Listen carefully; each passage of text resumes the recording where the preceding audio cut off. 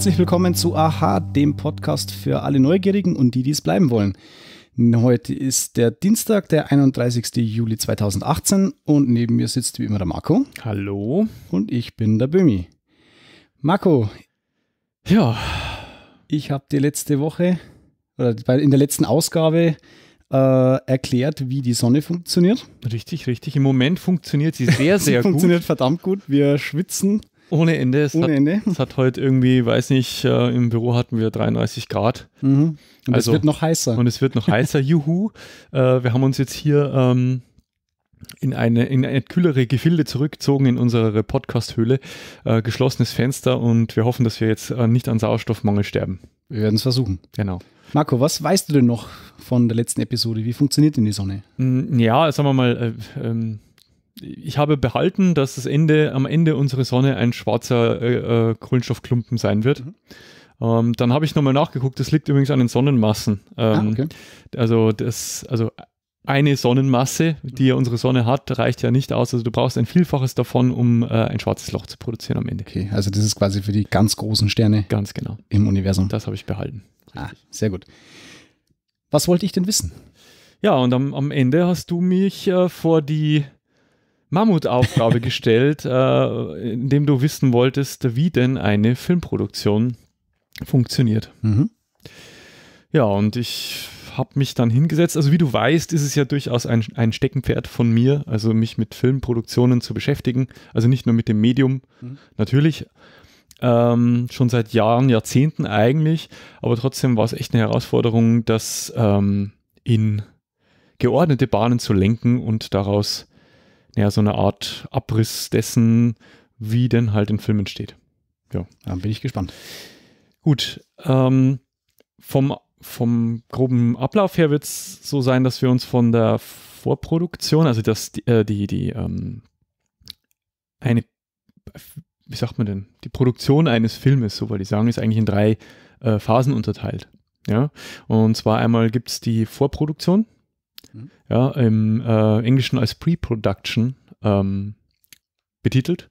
Da gibt es halt einiges, ähm, das da so stattfindet, typischerweise. Ja, du scrollst und scrollst. Ja, ja, ja, ja. ähm, ich versuche jetzt nur gerade, ja, ist egal. Ich finde jetzt die, die, die Gliederungspunkte nicht, aber ich weiß es auswendig. Die, die zweite Phase sind die Dreharbeiten natürlich. Ähm, das wird im Englischen auch als Principal Photography bezeichnet. Und dann gibt es noch die dritte Phase, nämlich die Post-Production. Und wenn man so will, also die Nachproduktion und wenn man so will, auch noch ein, ein viertes Element, nämlich das Marketing. Und genau in der Reihenfolge werden wir uns das jetzt angucken. Ich freue mich. Ja. Also, ähm, was steht natürlich am Anfang eines jeden Films? Eine Idee. Die Idee. Genau. Und äh, spannend ist ja schon mal zu wissen, wo kann denn so eine Idee überhaupt herkommen. Ja? Ähm, jetzt äh, würde man natürlich erwarten, naja, ein Drehbuchautor schreibt ein Drehbuch, das findet irgendjemand toll und es wird verfilmt. Ähm, das ist tatsächlich selten der Fall. Mhm. Ähm, es ist so, also dieses, äh, dass ein Drehbuchautor quasi ein, ein Drehbuch auf gut Glück schreibt, das nennt man im Englischen äh, on spec, ja, on speculation, also spekulativ irgendwas schreibt. Ähm, das passiert zwar ständig, aber die, äh, man, das sind ja nicht nur eine Handvoll Autoren, die sich da versuchen, ähm, Hinz und Kunst schreibt Drehbücher, schickt die an die Studios und wenn du Glück hast, landet es äh, bei einem festangestellten Leser der Studios, einem sogenannten Reader, der äh, sich diese Drehbücher halt durchliest, die, die arme Wurst. oh, ja. ähm, und wenn er glaubt, quasi einen Goldschatz gefunden zu haben, sich dann an einen Produzenten wendet, ähm, der sich das halt anguckt und das Potenzial dann einschätzt. Ja. Aber der Großteil, ähm, also und es dauert dann natürlich auch, weil ähm, ich glaube, Drehbuchautoren sind, sind da gar nicht so bekannt jetzt im, im, unter den normalen Filmgängern. Also ich und du wahrscheinlich auch. Also wir haben schon ein bisschen ein Auge auf die Drehbuchautoren, aber so, dass die tatsächlich einen großen Namen haben und man sich um ihre Drehbücher reißt, das ist ein verschwindend geringer mhm. Anteil im Vergleich zu, zu dem, was tatsächlich äh, wie ein Film tatsächlich entsteht, nämlich meistens, dass halt ein, ein Produzent eine Idee hat, ähm, die ihm zufliegt. Das kann eine, ein Ereignis aus der realen Welt sein, eine Nachrichtenmeldung. Äh, das kann natürlich ein Buch sein, äh, dessen Rechte man sich sichert. Und meistens ist es so, dass der Produzent dann ähm, das Drehbuch quasi erstmal in Auftrag gibt. Mhm. Ja, also, äh, also quasi die andere Richtung eigentlich. Genau, das heißt, der, der Drehbuchautor eigentlich eher so der Auftragsarbeiter ist. Ja, kommen wir auch später nochmal zu, gibt es auch noch Varianten davon. Ich glaube auch, dass es bei Serien wesentlich mehr bekannte Schreiber gibt als bei Filmen. Ja, da, weil halt, ähm, ich sag mal, der Umfang, also meistens, es, es, nimmt zu. Früher äh, war das auch nicht so. Es gibt halt die Schöpfer, die die Grundidee mhm. liefern mhm. und dann halt Autoren, die äh, immer wieder dran schreiben. Neuerdings gibt es ja immer diese Anthologie und Miniserien, mhm. wo halt aus einem Guss von einem Autor geschrieben wurden. Ne? Ja, ähm, für Autoren ist es darüber hinaus sogar gefährlich, wenn sie ihr Drehbuch einfach so jemandem anbieten, ähm, wenn sie nicht Mitglied der sogenannten Writers Guild sind, also der, der äh, Vereinigung äh, von, von Autoren äh, und es dort hinterlegt und registriert haben, weil äh, der Ideenklau in Hollywood durchaus gang und gäbe ist. Ja, ja, also da gibt es berühmte Fälle, ähm, wo ähm, halt Drehbuchautoren über, ähm, über den Tisch gezogen wurden, mhm. weil sie halt irgendwo mal eine Idee ausgeplappert haben und irgendwie, was weiß ich, ein halbes Jahr später wurde dann plötzlich ein Film daraus. Komisch. Ohne ihre Beteiligung. Genau. Und jetzt hast du bestimmt schon mal in dieser Vorproduktionsphase, also ein, ein, ein, ein Verantwortlicher, eine Person ist ja schon gefallen, oder zwei eigentlich, Drehbuchautor und Produzent. Und der mhm. Produzent spielt tatsächlich eine gewichtige Rolle in der Vorproduktionsphase. Und was du bestimmt auch schon mal gehört hast, ist dieser Begriff grünes Licht. Mhm. Ja, also eine Produktion hat grünes Licht. äh, tatsächlich gibt es aber kein grünes Licht. Also grünes Licht äh, heißt alles und nichts in Hollywood. Ähm, Filme können äh, vom ersten Jahr finden wir gut bis zum Kino durchgewunken werden, ohne Reibung äh, produziert werden, bis hin zu Schauspieler sind schon am Set und nee, machen wir doch nicht, äh, weil mhm. kreative Differenzen, Schauspieler wird krank, äh, Projekt verschwindet in der Versenkung. Also ähm, das erste grüne Licht, das das Studio quasi einem Produzenten für seine Idee gibt, ist äh, signalisiert eigentlich zunächst nur, dass ähm, quasi das Projekt so den Entwicklungsprozess eines Studios hinter sich hat. Ja, das ist eine so ganz schwammige. Also wir würden es tun, aber gucken wir mal quasi. Genau, also das klingt ganz gut. Mhm. Schau mal, äh, wen du so an Bord holen mhm, kannst, mhm. wen du so begeistern kannst für das Projekt. Äh, prinzipiell stehen wir erstmal hinter dir. Ja? Ähm, das heißt, der Produktionschef, also der, der, der, der Producer, der darf die Entwicklung des Projekts dann vorantreiben, wenn ihm das Studio grünes Licht gibt, ja. Ähm, und da ist er erstmal autorisiert, so ungefähr so, also ein bisschen mehr, also schon mehr als 100.000 Dollar dafür auszugeben. Ähm, und äh, so Genehmigungen für den Drehstart, wo es dann halt um Millionen Investitionen geht, also da braucht es auf alle Fälle ähm, das Studio in Form ähm, des Aufsicht, Aufsichtsratsvorsitzenden oder des obersten Managers, mhm. des Chief Executive Officers, des CEOs. So, ja. Okay, also verstehe ich richtig quasi, also die, es gibt vor der Vorproduktion quasi noch eine Art kleine Vorproduktion, wo überhaupt erstmal geschaut wird, äh, wer kommt denn jetzt überhaupt zum Projekt mit zu. Nee, eigentlich gehört das gehört, gehört schon dazu. zur klassischen Vorproduktionsphase. Natürlich Aber da geht auch schon ordentlich ja, ins Land. Ja, ja, also das, was du, also es wird halt zum einen wird schon mal Geld ausgegeben, äh, mitunter für diverse Drehbuchentwürfe, mhm. also Rechte sogar, wahrscheinlich auch. Ja, Rechte, äh, diese Drehbuchentwürfe nennt man Drafts, hast mhm. du bestimmt schon mal gehört. Ähm, ähm, es folgt ähm, ja, also das, das erste Stadium ist eigentlich, dass das Studio das Skript mag und glaubt, dass sich daraus ein Film machen lässt, ja. Und dann beginnt halt die Suche nach akzeptablen Schauspielern, einem akzeptablen Regisseur und einem akzeptablen Budget. Und dummerweise gehen die Vorstellungen darüber, was akzeptabel ist, äh, äh, was der Pro Produzent für akzeptabel hält und das Studio für akzeptabel hält, weit auseinander. Mhm. Ja. Und das Geile ist eigentlich, ähm, also an, an der Stelle werden auch meistens schon äh, vom Produzenten ein Agent oder, ein, oder ein, ein, eine Agentur quasi engagiert, die sich halt nach, ähm, nach Schauspielern für die Hauptfiguren umsehen, ja, also Casting, mhm. ja, ähm, kommen wir aber später noch zu. Ähm, dann äh, such, sucht man halt einen Regisseur und äh, dann ist eigentlich so das zweite grüne Licht, also das etwas dunklere grüne Licht, das dann aufleuchtet, also wenn Schauspieler und Regisseur feststehen. Ja? Und ähm, erst das dritte grüne Licht signalisiert, dass eine kritische Phase erreicht ist und dann hat das Studio so viel Geld ausgegeben, dass sie den Film machen müssen. Mhm, das ist ein Rentier zu, ja. zu rudern. Ne? Ähm, das kann man sich jetzt natürlich fragen, na, wer hat diesen Begriff grünes Licht überhaupt äh, etabliert und wieso wird er eigentlich immer noch in Hollywood verwendet, wenn er denn sowieso überhaupt gar keine Bedeutung hat, wenn das so eine weiche Angelegenheit ist. Wahrscheinlich ist es deswegen, weil es eines enormen Feingefühls bedarf, äh, um ein Skript in einen Film zu verwandeln und zwar viel Feingefühl seitens des Produzenten. Ähm, das Problem ist, äh, dass sich der Produzent immer in der Zwickmühle befindet. Das heißt, er bekommt grünes Licht, wenn er Regisseurs und Stars gefunden hat die sagen eigentlich allerdings erst dann zu, wenn das Projekt grünes Licht hat. Mhm. Ja? Und äh, Produzenten können aber durch geschicktes Vermischen von Wunschdenken und Realität Fakten suggerieren, die längst noch keine sind. Ja, jetzt können sie zum Beispiel zu ihrem Studio hingehen und sagen, äh, pass mal auf, ähm, äh, dieses äh, ähnliches Projekt wird schon von dem und dem Studio entwickelt, wir sollten uns beeilen. Ne? Das ist so ein typischer Trick. Oder ähm, der erfolgreiche Regisseur XY sucht genau nach sowas, ja. Äh, oder hey, äh, der Star XY, äh, der wäre doch in der Rolle von dem sowieso perfekt, ja. Also quasi die Realität ein bisschen beugen genau. und den eigenen Ansprüchen. Genau, und weil, weil es eben so ein, so ein Balanceakt ist zwischen Leute kriegen und das ähm, ein grünes Licht zu kriegen, ja. Mhm. Ja. Jetzt habe ich schon ein paar Mal erwähnt, dass der Produzent ähm, halt eine ganz gewichtige Rolle halt schon im Vorproduktionsprozess hat. Ähm, und zu oberst, also der, der quasi so diese Idee vermarktet, das ist eigentlich das, was man allgemeinhin als ausführender Produzent, als Executive Producer kennt, auch in den Credits, ähm, der aber auch als Gesamtleiter bekannt ist. Ja, also ähm, das heißt, der, dieser Gesamtleiter, der stellt erstmal die entscheidenden Weichen, sorgt für die wesentliche Finanzierung und übergibt dann dem Produzenten die Leitung des Projekts. Also das ist tatsächlich so, der, der macht eigentlich ja erstmal nicht so wahnsinnig viel, außer halt dann äh, das Projekt lostreten. Ja? Und alle administrativen und finanziellen Belange eines Projekts waren dann grundsätzlich immer über den Tisch eines Produzenten. Grundsätzlich. Mhm.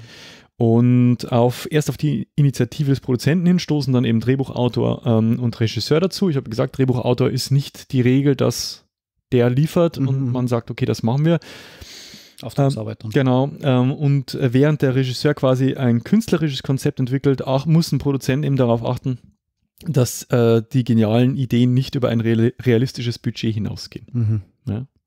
Man hört ja so, äh, ja, wenn man sich ein bisschen mit Hollywood und den Produ Pro Produktionen beschäftigt, merkt, hört man ja schon Stories, ja, dass es Differenzen gibt zwischen Regisseuren und Produzenten, eben weil der eine halt das Geld im, im, im Sinn hat, das mhm. Budget im Auge behalten muss und der Regisseur halt Visionen hat. Ja, Visionen sind oft teuer umzusetzen. Genau. Ich, ich erinnere da nur so an Produktionen wie von, von Christopher Nolan. Ja, ja. Die wo halt echt über sind. Und äh, also das, das heißt, da während halt der Regisseur schon ganz klar eine, eine, der kreative Part ist, muss der äh, Produzent einfach wahnsinnig Organisationstalent mitbringen. Mhm. Ja, es ist mit Sicherheit ein interessanter Beruf, äh, den ich mir jetzt interessanter vorstelle als äh, vor meiner Recherche. Ich dachte, ich hatte auch immer so ein relativ schlechtes Bild von ähm, von den, ähm, von den Produzenten. Ich dachte immer, das sind so die, die Bösen, ja, die machen nichts, die geben nur Geld und dann, äh, mhm. Ja, aber nein, die sind ja, tatsächlich. im Hintergrund eigentlich. Genau. Okay. Ähm, es liegt aber auch so ein bisschen daran, also dass mein Bild von einem Produzenten war es früher tatsächlich viel, viel anders war. Also der Produzent war früher einfach äh, ein Autokrat und der Regisseur war früher einfach nur so ein besserer Handlanger. Mhm. Ja, und äh, Produzenten haben früher einfach alles bestimmt und den, in den gesamten äh, kreativen Bereich äh, reingewirkt und äh, ja, deswegen gibt es äh, heute nicht mehr die großen Produzenten so wie früher. Früher waren Produzenten tatsächlich noch Namen, mhm. ja, ähm, da die sind also, also sind immer unbedeutender geworden. Ja, natürlich kennt man noch, ich weiß, ich kann sie nur noch an, an äh, Bruckheimer, Simpson, Bruckheimer ja, äh, kennst du sicher noch oder dieser, ähm, jetzt fällt mir nicht mehr ein, Silver, John Silver, der, der diese ja, Lethal Weapon und den ganzen mhm. Zeug da produziert hat. Es gab schon ein paar so Namen noch, aber in der frühen Ära, also ich spreche jetzt hier von den 50er und 60er Jahren, waren es halt Halbgötter. Ja. ja. Ähm, das ist halt auch der Grund, warum viele der Produzenten, äh, der Regisseure den Job des Produzenten gleich mit übernehmen, Mhm. wenn sie die Möglichkeit dazu haben, weil sie dann halt sämtliche kreative Freiheiten haben. Das sind keine, fast keine Einschränkungen mehr dann. Muss man aber mögen, Ja, ist doppelte Arbeit. genau, Dreifache. weil du halt dann auch wirklich auch für das Budget verantwortlich bist und für sämtliche administrativen Entscheidungen und Mhm. die Arbeit halt auf niemanden Und abwälzen. nebenbei noch Film drehen. Was du sicher auch schon erlebt hast, wenn du den ein oder anderen Filmvorspann dir anguckst oder halt die Credits, dass der Begriff Producer äh, mit allen möglichen Zusätzen eine wahre Inflation erlebt hat in den letzten Jahren. Ja. Ähm, das liegt daran, dass einfach viele Mitarbeiter, die im Entstehungsprozess beteiligt sind, aber jetzt keinen konkreten Job haben, ähm, halt Wert darauf legen, dass ihre Beteiligung im Nachspann festgehalten wird. Und weil sie eben keinen konkreten Job hatten, sondern vielleicht nur ein paar äh, ein bisschen Kohle beigesteuert haben oder äh, eine Idee hatten, die im Drehbuch gelandet Okay. ist, ähm, gibt es da so viele, genau. Und äh, das heißt, da gibt es halt dann Associate und Co-Producer, die dem Produzenten dann ähm, helfen, indem sie einen Teil der Verantwortung oder der Finanzierung Mhm. übernehmen. Ich dachte immer, das wären die, die Kaffee holen. Nee.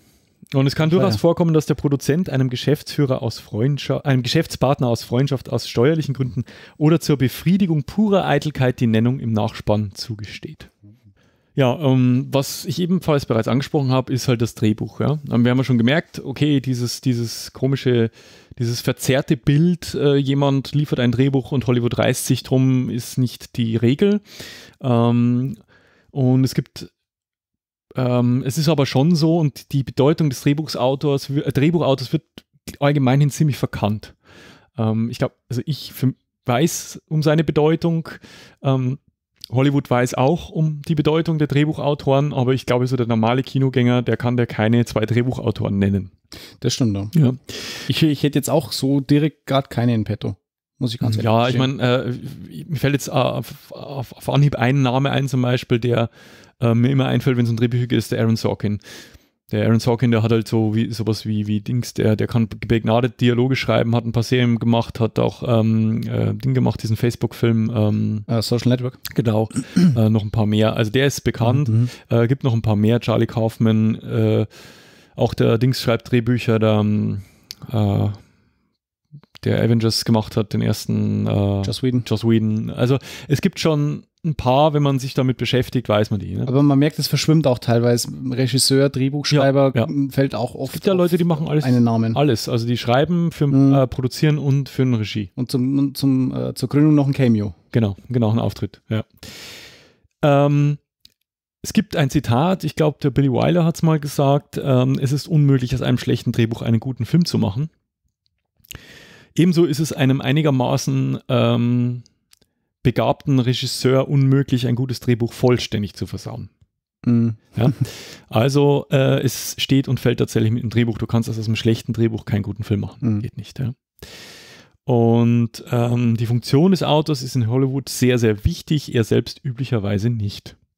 Das hat man gesehen damals, 2007, wann war das? Dieser, dieser Streik dieser der Schreibergilde, ja. Mhm. da wo ja auch bei, äh, bei Scrubs irgendwie nur von der siebten Staffel die Hälfte gedreht wurde, Ja. weil dann dieser Riesenstreik kam und die einfach nicht fertig wurden. Da waren vor allen Dingen Serien betroffen, weil die natürlich äh, on the fly geschrieben werden. Mhm. Das heißt, nur ein Teil ist fertig, wenn sie anfangen zu drehen. Und da merkt man eigentlich, was diese Schreibergilde auch irgendwo für, ein, für eine Ja, Macht auch hat, für einen Hebel. Genau.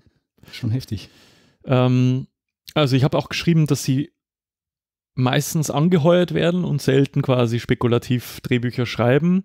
Ähm, angeheuert eben, um eine Buchvorlage oder und oder eine Idee in eine verfilmbare Form zu bringen oder eben auch vorhandene Drehbücher zu überarbeiten. Mhm. Und äh, die erste Drehbuchfassung wird in der Regel dann vom Produzent und Regisseur geprüft, der dann idealerweise schon an Bord ist und in jedem Fall Änderungsvorschläge machen. Immer eigentlich. Mhm. Und ähm, seit einem Streik der amerikanischen Drehbuchautoren, nicht den, den du angesprochen hast, sondern einer, der bereits im Sommer 1988 stand, stattfand, hat jeder Autor das Recht, aufgrund der Änderungswünsche selbst eine zweite Fassung, ein sogenanntes Rewrite, zu liefern. Mhm. Ja, also bevor er quasi alle Änderungen so rein operiert, kann er auch sagen, du, ich setze mir nochmal hin, ich schreibe das jetzt nochmal komplett neu. Ja? Und wenn auch die nicht auf die Zustimmung der Geldgeber stößt, wird oft ein sogenannter Script-Doktor, ein Textchirurg quasi hinzugezogen, der sich auf die Fehlerbereinigung in den Geschichten anderer spezialisiert hat. Okay. Und dessen Name erscheint ähm, selten im Vorspann, aber der kriegt für seine Arbeit hinter den Kulissen ein horrendes Honorar. Also die werden fürstlich bezahlt. Ja? Und ähm, es gibt ein Zitat eines anonymen Autors, der sagt, die Studios ruinieren meine Geschichten. Sie prostituieren meine Kunst. Sie trampeln auf meinem Stolz herum. Und was bekomme ich dafür? Ein Vermögen. Gibt, hast du gerade ein Beispiel da, wo so ein Script-Doktor richtig übel über die ganze Geschichte drüber ist? Ich glaube, das zieht sich durch die kompletten Hollywood-Filme. Also ich, ich weiß, äh, dass bei, bei äh, Marvel-Produktionen, ähm, bei Ant-Man weiß ich zum Beispiel, dass sie, äh, einer am Werk war. Und dadurch, dass die nicht in Erscheinung treten, basiert das immer so ein bisschen auf Hörensagen mhm. und Gerüchten und so und oder dass er vielleicht mal ausgeplaudert hat. Und, mhm. Aber das ist durchaus üblich. Ja. Und ich habe auch mal irgendwo gelesen von einem Script-Doktor, der äh, selber mal Autor war, sich aber extrem spezialisiert hat, wie gesagt, viel Kohle kriegt dafür und sagt, hey, es nimmt ihm diesen ganzen Druck, weil er selber keine Geschichte schreiben muss, sondern eine andere einfach ja. umschreibt. Ja. Ist durchaus wahrscheinlich ein gutes Auskommen für jemanden, oh. der eigentlich Autor ist. Und er sagt, äh, ich habe auch gelesen von dem, ich kenne den, weiß den Namen jetzt nicht mehr, er hat auch gesagt, es schärft einfach deine deine Sinne für Fehler in der Geschichte, die du in eigenen Geschichten mhm. gar nicht mehr wahrnimmst. Ja. Ja, du hast so einen Blick von außen einfach, einfach ein, Ja, ein objektives. Ja. Eine sehr objektive Sicht der Dinge mhm. einfach. Ja, ähm, dann ist es halt so, dass, äh, wenn wir jetzt von dem Drehbuch äh, einen Schritt weitergehen in Richtung Film, dass natürlich die Anweisungen eines Autors in so einem Drehbuch, ich weiß nicht, ob du schon mal eins gesehen hast. Ich kann dir mal eins zeigen, ich habe ein paar da. Ähm, ich habe zum Beispiel das Drehbuch zu Speed. Okay. Ähm, Gab es zu kaufen, ja, mhm. ist halt ein Reprint, äh, weil ich den Film einfach vergöttert habe damals und ich wollte halt mal sehen, wie so ein Drehbuch aussieht. Ja, und hab das und ja, jedenfalls beschränken sich die Anweisungen da drin auf das Not Notwendigste, auf das Wesentliche. Das, das wird ähnlich wie so ein Theaterskript wahrscheinlich sein. Ganz oder? genau. Das heißt, du hast halt immer nur den Ort der Handlung, ob es mhm. außen oder innen ist, Tag oder Nacht. So. Und es bleibt also letztendlich der Kreativität und der Fantasie und der handwerklichen Fähigkeit des Regisseurs überlassen, wie er jede der häufig über 1000 Einstellungen pro Film aufbaut und inszeniert. Also das äh, ist schon eine Mammutaufgabe. Ja. Und da ist natürlich so eine Art Lageplan äußerst hilfreich. Also wenn du halt schon mal irgendwie weißt, wie soll denn diese Szene ungefähr aussehen und da kommt jetzt was ins Spiel, was du sicher schon mal gehört hast. Und das ist das Storyboard. Mhm.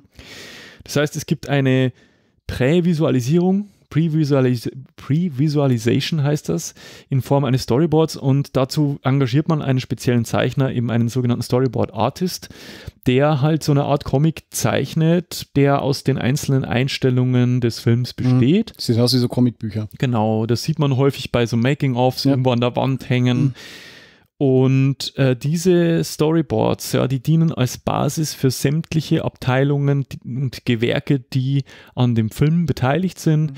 spiegeln oftmals schon auch so ein bisschen den, den Stil des Films wieder, weil diese Storyboards eben in Verbindung mit ähm, dem Regisseur ähm, erstellt werden.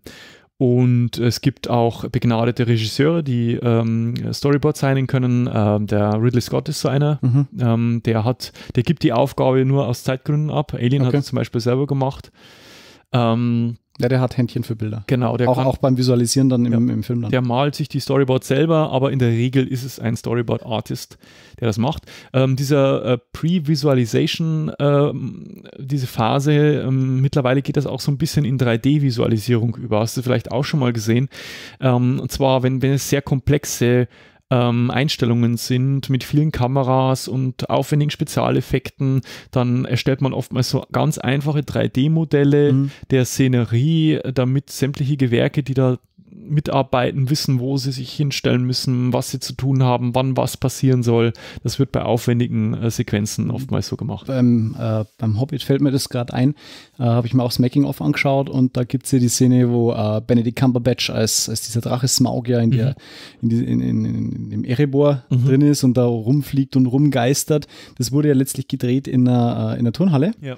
Und äh, Peter Jackson hatte dafür eine spezielle Kamera, Ja. die den Raum äh, quasi direkt als 3D-Modell dann äh, oder in ein 3D-Modell, das was er gefilmt hat, so Virtual Reality-mäßig oder Augmented Reality-mäßig, wurde der Raum quasi, äh, seine Kamerabewegungen direkt in ein 3D-Modell am Computer eingefügt. Das heißt, er konnte eigentlich diesen, diesen Raum von Haus aus so sehen, wie er letztlich im Film dann erscheinen wird. Ja, ich das geht mich, in die ja. Richtung, denke ich, oder?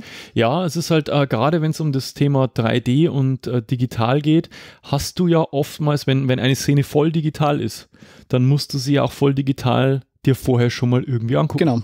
Du musst ja auch da, äh, und das, das klingt jetzt so banal, aber du musst auch in einer digitalen Szene wissen, wo setze ich das Licht hin, Hm. wie sieht das Licht aus, wo stelle ich meine Kameras hin. Das ist natürlich verhältnismäßig einfach, weil du sie nur virtuell setzen musst und nicht da Equipment ankarren musst. Nichtsdestotrotz Du brauchst du musst eine, wissen, eine hin muss. Visualisierung, genau. Gehe ich jetzt aber auch gar nicht so darauf ein, das ist so ein typisches Produkt des digitalen Zeitalters. Mhm.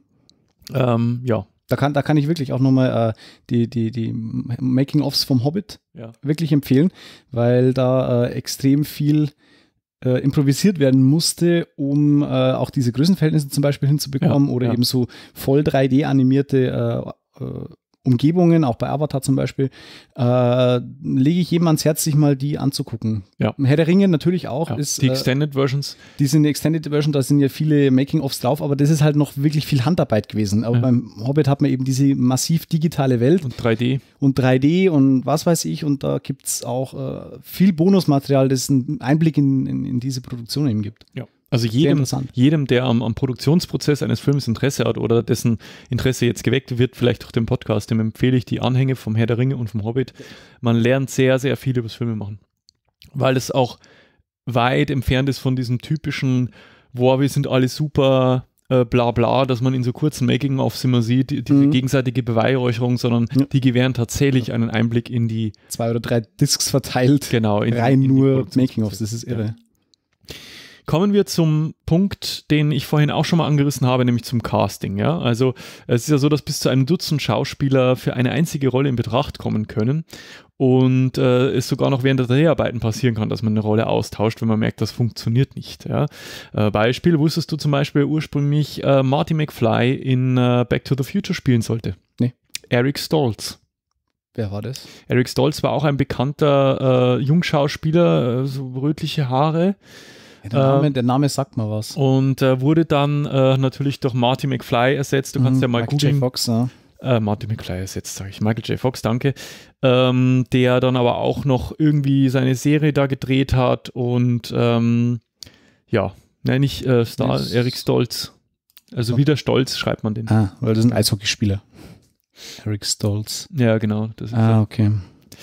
Ja, jedenfalls ähm, ist es halt so, dass sich äh, einige Besetzungschefs äh, damit begnügen, eine Liste der Schauspieler zusammenstellen, die sie kennen und dann dem Regisseur und Produzenten einfach die Auswahl zukommen lassen und sagen, hier, sucht ihr eine aus.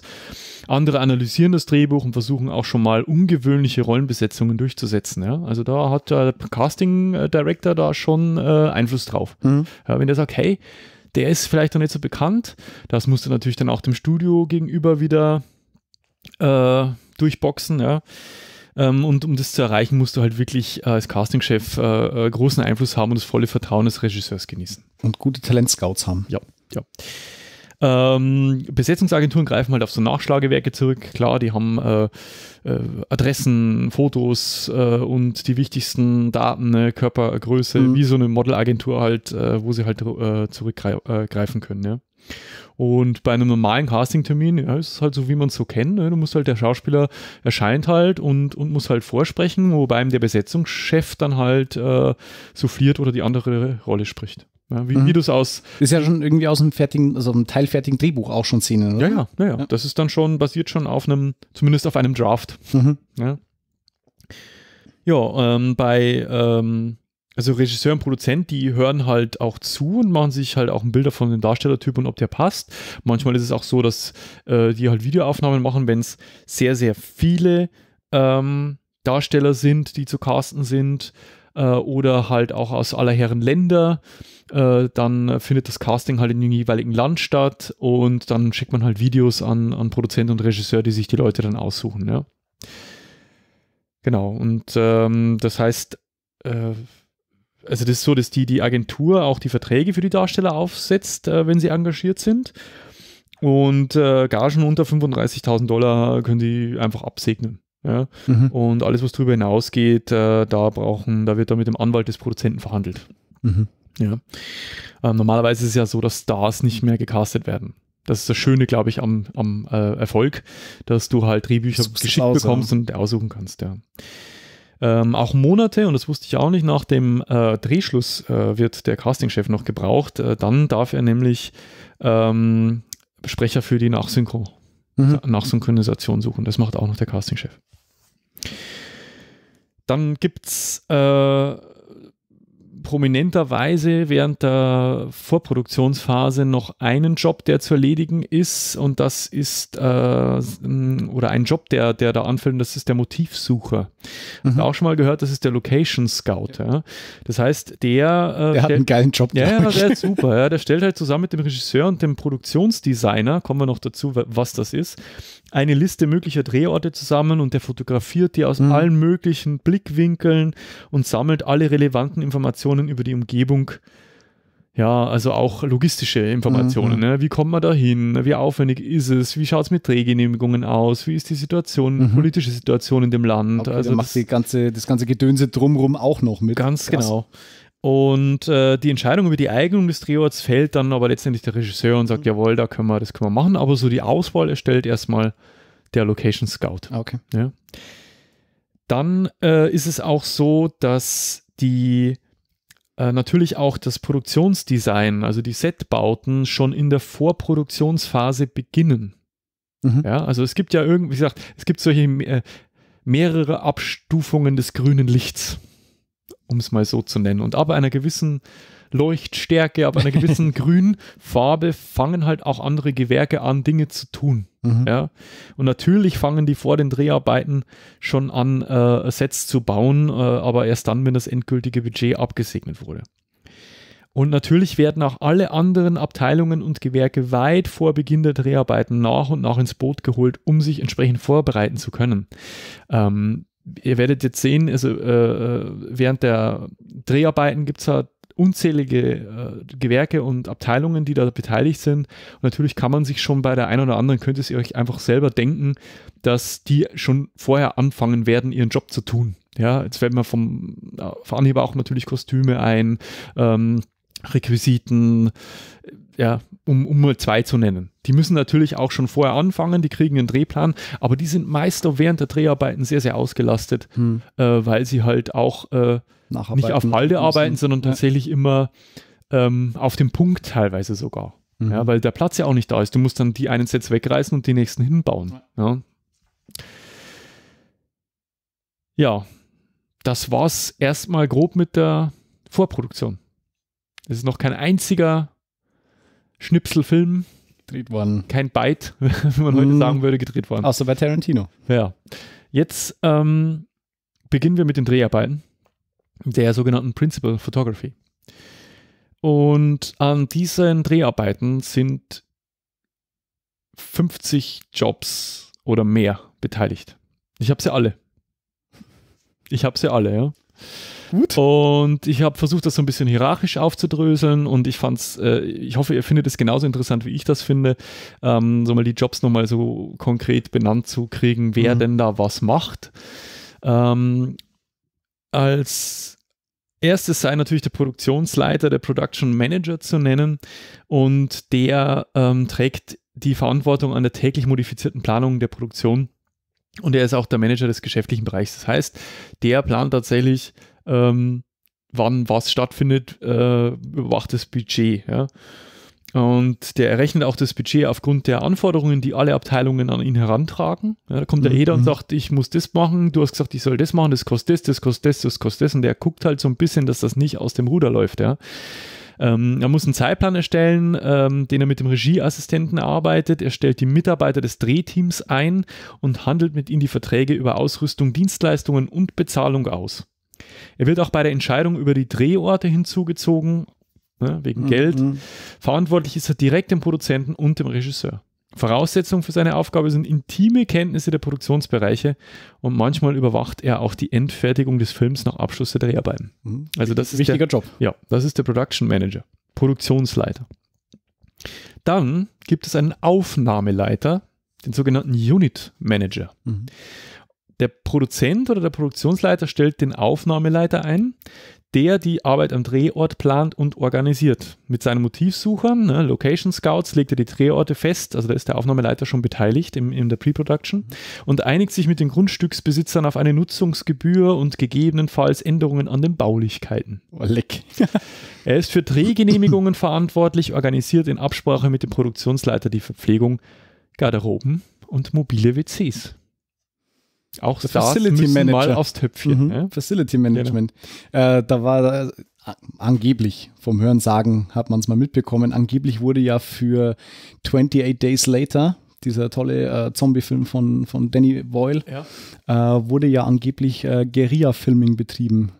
Also einfach so ohne Drehgenehmigung. Genau, weil Sonntagmorgen, Ja. Londoner Innenstadt, tot. Ja. Und das ist diese Eingangsszene aus dem Film, wo Mhm. halt wirklich nix ist. Und da wurde scheinbar ohne Drehgenehmigung, Guerilla-mäßig, äh, einfach Kameras aufgestellt und die leere Stadt gefilmt. Und das Okay. wurde als Eingangssequenz für 28 Days Later. Ohne Gewehr, ich habe es auch nur mal Okay. äh, vernommen. Ich weiß nicht, was dahinter steckt, aber äh, coole Sache. Ja, habe ich noch nicht gehört.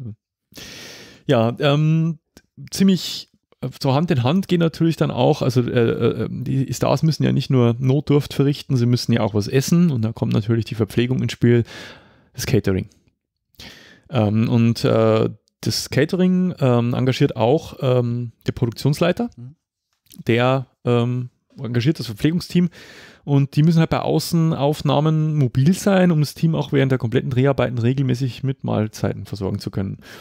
Und die Catering-Firmen, die besitzen halt neben diesen obligatorischen Gulaschkanonen ja, auch Zelte, Tische, Bänke und entsprechende Lastwagen, um einen rollenden Restaurantbetrieb jederzeit und bei jedem Wetter zu gewährleisten. Das ist krass. Ja, also erstmal die Mengen. Also Mhm. du wirst sehen, wenn da, wenn ich jetzt hier von 50 verschiedenen Jobs während der Da sind Produktion viele, viele Leute dabei. sind viele, viele, viele, viele, viele Leute dabei, ähm, die halt da versorgt werden müssen. Und das Mhm. halt auch mal in unwegsamem Gelände und vielleicht auch mal in der Wüste oder irgendwo. Ne? Das ist halt auch eine logistische Meisterleistung, ja, sowas. Die haben schon andere, ähm, das sind aber Spezialisten. Mhm. Also ich, es ist jetzt nicht irgendwie so hier der Italiener von nebenan, Nee. der, der so ein bisschen Catering nebenbei Das macht. sind Sterneköche wahrscheinlich. Die haben äh, andere. Lastwagen da und Ja. anderes Equipment. Ja, Und Dann- Personal auch. Ich meine, die müssen ja alle ja klar. auf Zack sein. Ja, ja, das, das da Kannst nicht den Pempelkoch vom, vom Laden um die Ecke hernehmen. Ja, und dann drehen die ja auch äh, zu, was weiß ich, zu irgendwelchen unchristlichen Zeiten. Mhm. Und also das muss alles Essen mit da sein. werden. Ja. Dann kommt äh, während der Dreharbeiten hat natürlich auch der Produzent, also der Producer eine Rolle. Der ist ja jetzt nicht aus dem Spiel, sondern der ist ja auch mit involviert. Und der äh, organisiert ja hauptsächlich, habe ich ja schon erwähnt, die Entwicklung einer Filmidee bis zum Drehbuch, aber auch dessen Umarbeitung zum drehreifen Skript. Das war in der Pre-Production-Phase. Und er bringt dann die Schlüsselfiguren für das Projekt zusammen. Ähm, er arbeitet aber auch weiterhin mit dem Regisseur eng zusammen und hält ihm den Rücken frei, damit er sich künstlerisch möglichst frei entfalten kann. Ja? Äh, und ich habe es auch schon erwähnt, da Kontrolle beim Film einfach alles ist, äh, kommt es halt vor, dass äh, Produzent und Regisseur oftmals die gleiche Person ist und vielleicht sogar auch der Autor. Mhm. Dann haben wir natürlich äh, schon mehrfach erwähnt, äh, ohne die läuft nichts und das ist auch meistens äh, mit der prominenteste Name, der mit so einem Film verknüpft wird, nämlich der Regisseur, der Director im Englischen. Und der ist halt, mein Gott, der ist halt der Kapitän dieses Ozeandampfers, der eine Filmproduktion darstellt. Oh, sehr lyrisch. Ja. Und als verantwortlicher Kreativer koordiniert er die künstlerischen Beiträge, die von allen Abteilungen eingebracht werden. Der ist Mhm. unter Dauerfeuer. Ja. Ja. Der entscheidet alles. Ja, außer das Budget. Und nachdem er das Drehbuch gelesen hat und vielleicht auch umgeschrieben hat, sucht er sich die entscheidenden Mitarbeiter selbst aus. Am Set hat er in der Regel die absolute Befehlsgewalt. Der probt mit den Schauspielern, Mhm. bestimmt mit dem Kameramann die Bildkomposition, entscheidet, ob eine Einstellung ak akzeptabel gespielt und damit gestorben ist. So nennt man das. Mhm. Ja, klingt äh, komisch, aber ist so. Gestorben heißt, ist gut. Ist gut. Ja, äh, und überwacht die Arbeit des Cutters. Ja, siehe Post-Production, kommen wir noch zu. Dann Wobei gibt es es. ja im Englischen nicht Cutter heißt. mh, Das ist der Editor. das ist der Editor, ja, genau. genau. Cutter heißt komischerweise im Deutschen. ganz genau. äh, ich habe auch immer erst die deutschen Bezeichnungen verwendet, äh, um so ein bisschen einen kleinen Spannungsbogen immer aufzubauen, weil ich, Uh. da gibt es nämlich ein paar so Namen, die, ähm, ja, die äh, komische englische Bezeichnungen haben. Dann gibt es natürlich den Regieassistent, ja, der Assistant Director, der am Drehort die wichtigste Person nach dem Regisseur und dem Kameramann ist. Als rechte Hand des Regisseurs kennt er dessen Ansichten zu allen Aspekten der Produktion und es ist seine Aufgabe, diese an das Filmteam zu vermitteln. Mhm. Zusammen mit dem Produktionsleiter plant er von Anfang an jedes Detail der Filmproduktion, organisiert Konferenzen am Drehort, erstellt Dreh- und Zeitplan und kümmert sich um das Anmieten der technischen Ausrüstung. Er ist ähm, verantwortlich für die Handlung im Hintergrund, also zum Beispiel die Aktionen der Statisten. Er mahnt das Team im entscheidenden Moment lautstark zur Ruhe und gibt das Einsatzkommando an Tontechniker und Kameramann, bevor der Regisseur selbst dann Action rufen kann. Dann gibt es einen zweiten Regieassistenten, mhm. weil der Job klingt schon stressig. Ja. ja Jetzt also, kommen wir langsam Richtung Kaffeeholer. Genau. naja, nicht ganz. Äh, der Second Assistant Director. Und äh, der ist bei der Besetzung und beim Aussuchen der Drehorte äh, ist er auch immer dabei. Und er hilft halt mit den Statisten Anweisungen zu geben. Er ist verantwortlich für den täglichen Auszug des Drehplans, ja, das sogenannte Call Sheet, also wo halt dann nochmal zusammengefasst ist, was heute alles gedreht wird mit Einsatzterminen, wann wer wo am Set sein muss. Äh, und den lässt er halt allen Darstellern und der gesamten Crew am Abend zuvor zukommen. Mhm. Ja. Und häufig hat er auch nochmal einen Assistenten und ähm, er ist halt verantwortlich für die Anleitung des Regiepraktikanten. Mhm. Ja, da gibt's, das gibt, das ist der, der Kaffee holt. ja, ähm, es gibt so eine, so eine uh, Directors Guild of America und da gibt es so, so, so ähm, Trainees, also so Praktikanten, ähm, und du musst im Prinzip, musst du diesen Posten mal durchlaufen haben, wenn du überhaupt mal ernsthaft mit den Gedanken spielst, Regie zu führen irgendwo. Ja, dieser, und ähm, ja, er ist, äh, er nennt sich auch äh, DGA Trainer, also mhm. ähm, Directors Guild of America Trainer. Ja, ja. Also der zweite Regieassistent macht diesen Job. Dann hast du auch schon mal gesehen, es gibt einen sogenannten Standfotografen. Der Still, Still Photographer. Still Photographer. Die Öffentlichkeitsarbeit für den Film, mhm. ja, die darf man nämlich nicht außen vor lassen. Ja, und die muss man von Anfang an planen, gehört so ein Stück auch äh, zum Marketing. Mhm. Deshalb ist bei allen Szenen grundsätzlich immer der Standfotograf anwesend, der mit seinen Fotos die Handlung dokumentiert. Mhm. Und die Fotos werden dann später zur Veröffentlichung an die Presse. Das sind dann gegeben. diese Setfotos, wo diese man im super, Internet findet. Super ungestellten Setfotos. Ja. Ähm, zum Teil bittet der Fotograf nämlich die Stars speziell für ihn zu posieren, weil während der Aufnahme darf er natürlich die Bewegungsfreiheit des, des Drehteams nicht beeinträchtigen. Mhm. Ich glaube, das ist noch viel schlimmer, als auf einer Hochzeit zu, zu fotografieren, ja. weil du immer im Weg stehst. Mhm, grundsätzlich. Und deswegen, äh, ja, ist das, du musst so ein bisschen, glaube ich, unsichtbar werden und deine Fotos halt machen. Dann, was gibt es noch alles? Es gibt natürlich den Stunt-Koordinator der heißt ziemlich gleich am englischen Stunt Coordinator. Was der macht, dürfte klar sein. Der organisiert die Stunt-Szenen und den Einsatz der Stunt-Leute und als Spezialist kann er auch Verfolgungsjagden choreografieren. Mhm. Das machen häufig die äh, Stunt-Koordinatoren. Der engagiert die am besten geeigneten Stunt-Männer oder Frauen und ist häufig auch selbst aktiv dabei. Auch selber Stunt-Mann mhm. oder äh, Stunt-Frau. Ähm, einer der wichtigsten Aspekte seiner Arbeit ist die Gewährleistung der Sicherheit. Der Sicherheit, ganz genau. Der Effekt der Stunts im Film wirkt spontan, ne? aber geplant werden die äußerst genau, sekundengenau unter Einbeziehung aller Eventualitäten. Also wenn man das mal in irgendeinem Making-of gesehen hat. auch dann, ne? Ja, dann gibt es auch noch. Ach, es ist extra. Naja, so. ist extra. Ähm, also nur äh, diese Planung ist der beste Schutz vor Unfällen. Mhm. Ne? Wobei es nicht auszuschließen ist. Nein, immer passiert wieder. immer wieder, ja. Dann gibt es natürlich die Stunt- Leute, die heißen tatsächlich Stunt Person, also Stuntman und Stunt Woman sind out. Also beziehungsweise Stuntman war der gängige Begriff, hat man natürlich im Zeitalter der Emanzipation abgeschafft, auch richtig so. Heißt jetzt Stunt Person. Äh, der Stuntman und die Stuntfrau führen vor der Kamera halt Aktionen durch, die die Versicherung der Darsteller irgendwie äh, halt nicht äh, verbieten würde, ja. Äh, außer man heißt Tom Cruise. Ja. Stuntleute werden möglichst danach ausgesucht, dass sie dem Star physisch ähneln ja, also von der Statur her. Und sie tragen auch ein identisches Kostüm. Ja. Ihre akrobatischen Aktionen werden bis ins kleinste Detail geplant natürlich, äh, wobei die Wünsche des Regisseurs und etwaige parallele Effekte berücksichtigt werden. Ähm, ja, und obwohl Unfälle halt weitestgehend vermieden werden sollen, sind bei Stunts grundsätzlich immer Krankenwagen und Muss Feuerwehr ja. zur Stelle. Immer. Ja. Dann haben wir noch äh, Leute, die eher im Hintergrund agieren, und das sind die Statisten Wie heißen die im Englischen, weißt du es? Extras. Ganz genau. Auch eine lustige Serie bei BBC übrigens. Ah, okay. Kenne ich auch nicht.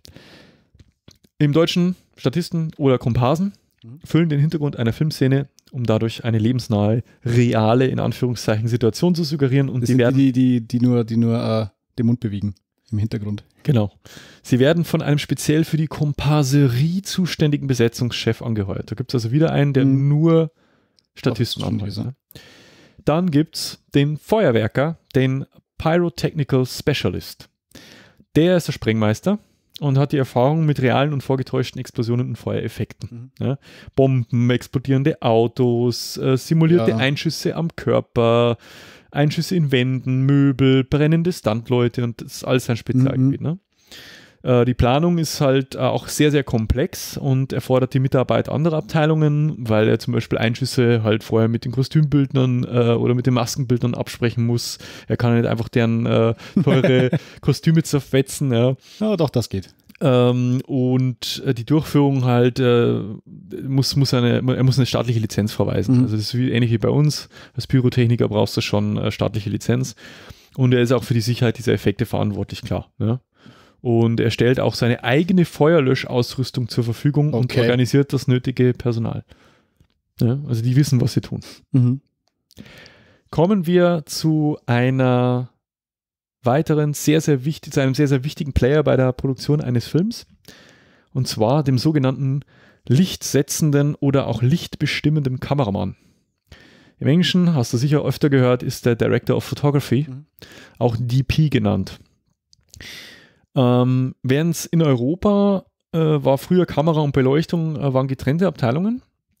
Ähm, es übernimmt aber heute mehr und mehr, wie in Hollywood seit langem, dieser DP, äh, der lichtsetzende oder eben lichtbestimmende Kameramann, die Verantwortung für den Bildausschnitt und gleichzeitig die Ausleuchtung der Mhm. Szene. Macht ja auch irgendwo Sinn, Ja, klar, der muss ja das Auge dafür haben, wie es aussieht ganz genau. von der Beleuchtung her.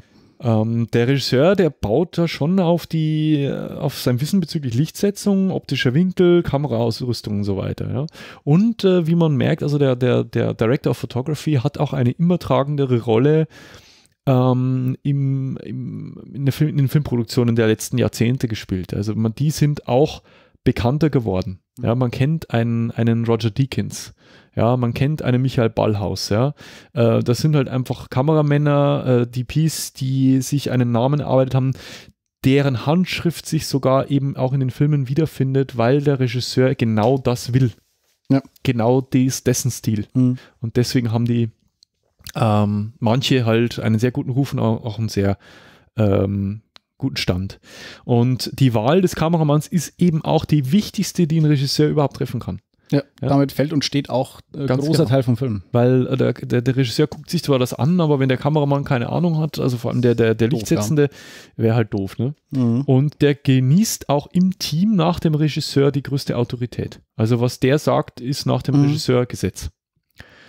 Da muss Ähm. ich ja immer an den an, äh, äh, Just Vacano denken, denken. Den kenne ich nicht. Das ist der Kameramann von Das Boot. Mhm. Boot hast du schon mal gesehen? Mhm. Das ist ja Kameraarbeit, da ziehst du einen Hut. Die ist Wahnsinn, vor allem wenn du die, die Hintergründe zu den Dreharbeiten Ja, in kennst. diesem engen U-Boot, ja, ja, unglaublich. Da haben die ja, ich glaube, ich glaube auch für den Film haben die äh, zum ersten Mal so eine, so eine Steadicam, Ja, ähnliches Ding gehabt, das Kommt man sich halt umschnallt und wo, man, wo er halt dann quasi am Körper die Kamera trägt und durch diese engen Ja. Gänge durchgeht. Ich weiß nicht, warst du schon mal in die Bar der Film? Ja, ja, Da ist ja dieses Set ja. von dem. Boot, das ja original ist. Original Mega eng, ja. Furchtbar eng und dann mit dieser riesen Kameraausrüstung und dieser äh, Jost Vacano, der glaube ich, hatte nicht sogar einen Oscar für, den, für die Kameraarbeit bekommen. Ich glaube schon. Aber der ist. Ja. Es Der hat auch aber- geklagt, weil er, weil er nicht genug Kohle bekommen hat. Jetzt kriegt er Anteile an den Verkäufen von das Boot. Naja, sehr interessant. Ja, jedenfalls, ähm, die, also der bestimmt maßgeblich mit dem visuellen Stil eines Films. Ja? Also da führt an dem führt kein Weg vorbei. Ähm, das Kamera- und das Beleuchtungsteam sind ihm direkt unterstellt. Mhm. Ja. Dann gibt es natürlich den Chef oder Oberbeleuchter. Und das ist im Englischen der Gaffer. Der Gaffer. Ich dachte mir immer, das ist einer, der rumsteht und guckt. Nein, das ist der Oberbeleuchter, merken wir uns das einfach so. Äh, der Beleuchter ist dem lichtsetzenden Kameramann unterstellt und der ist verantwortlich für die Lichtsetzung. Do. Ja. Oh.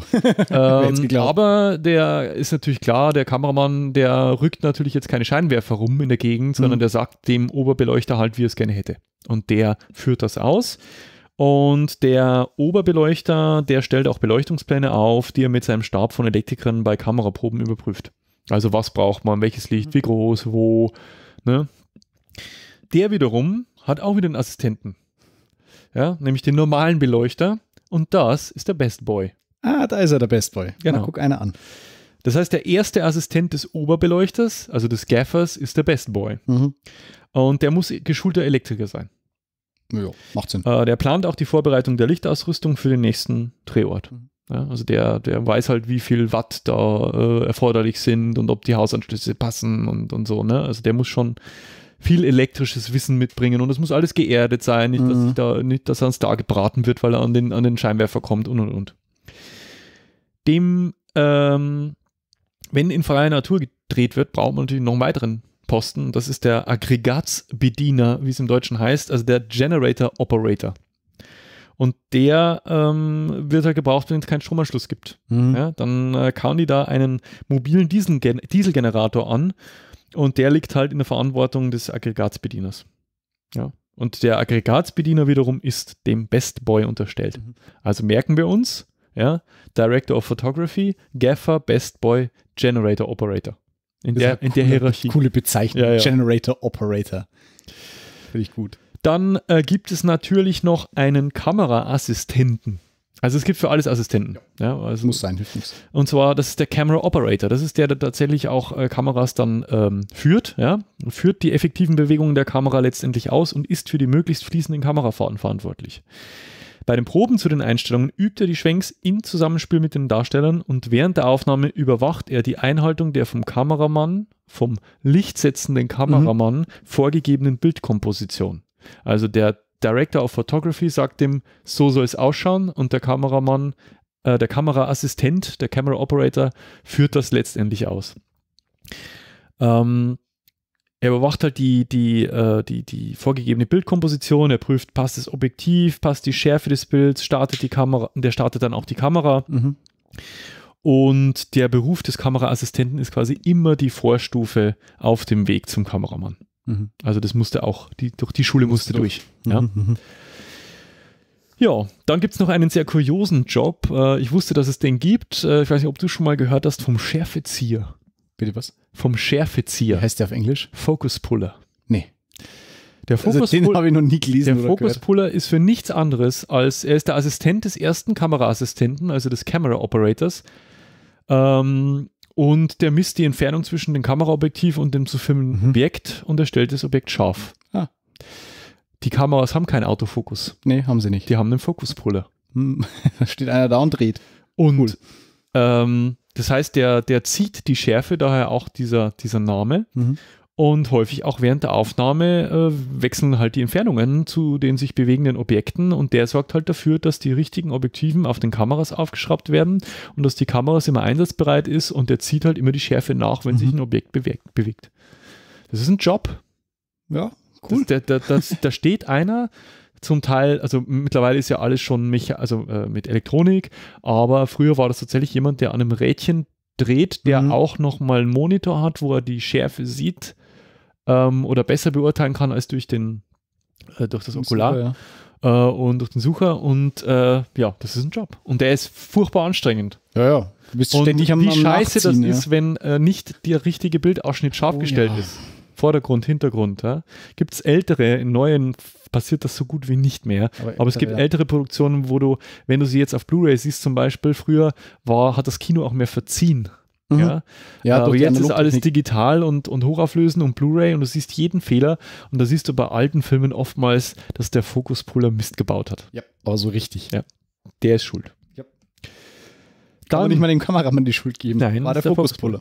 Dann gibt es den zweiten Kameraassistenten, der Assistant Camera Operator, und der ist ebenfalls dem Kameramann unterstellt. Seine Hauptaufgaben: Laden der Kameramagazine oder Wechseln der Datenträger neuerdings.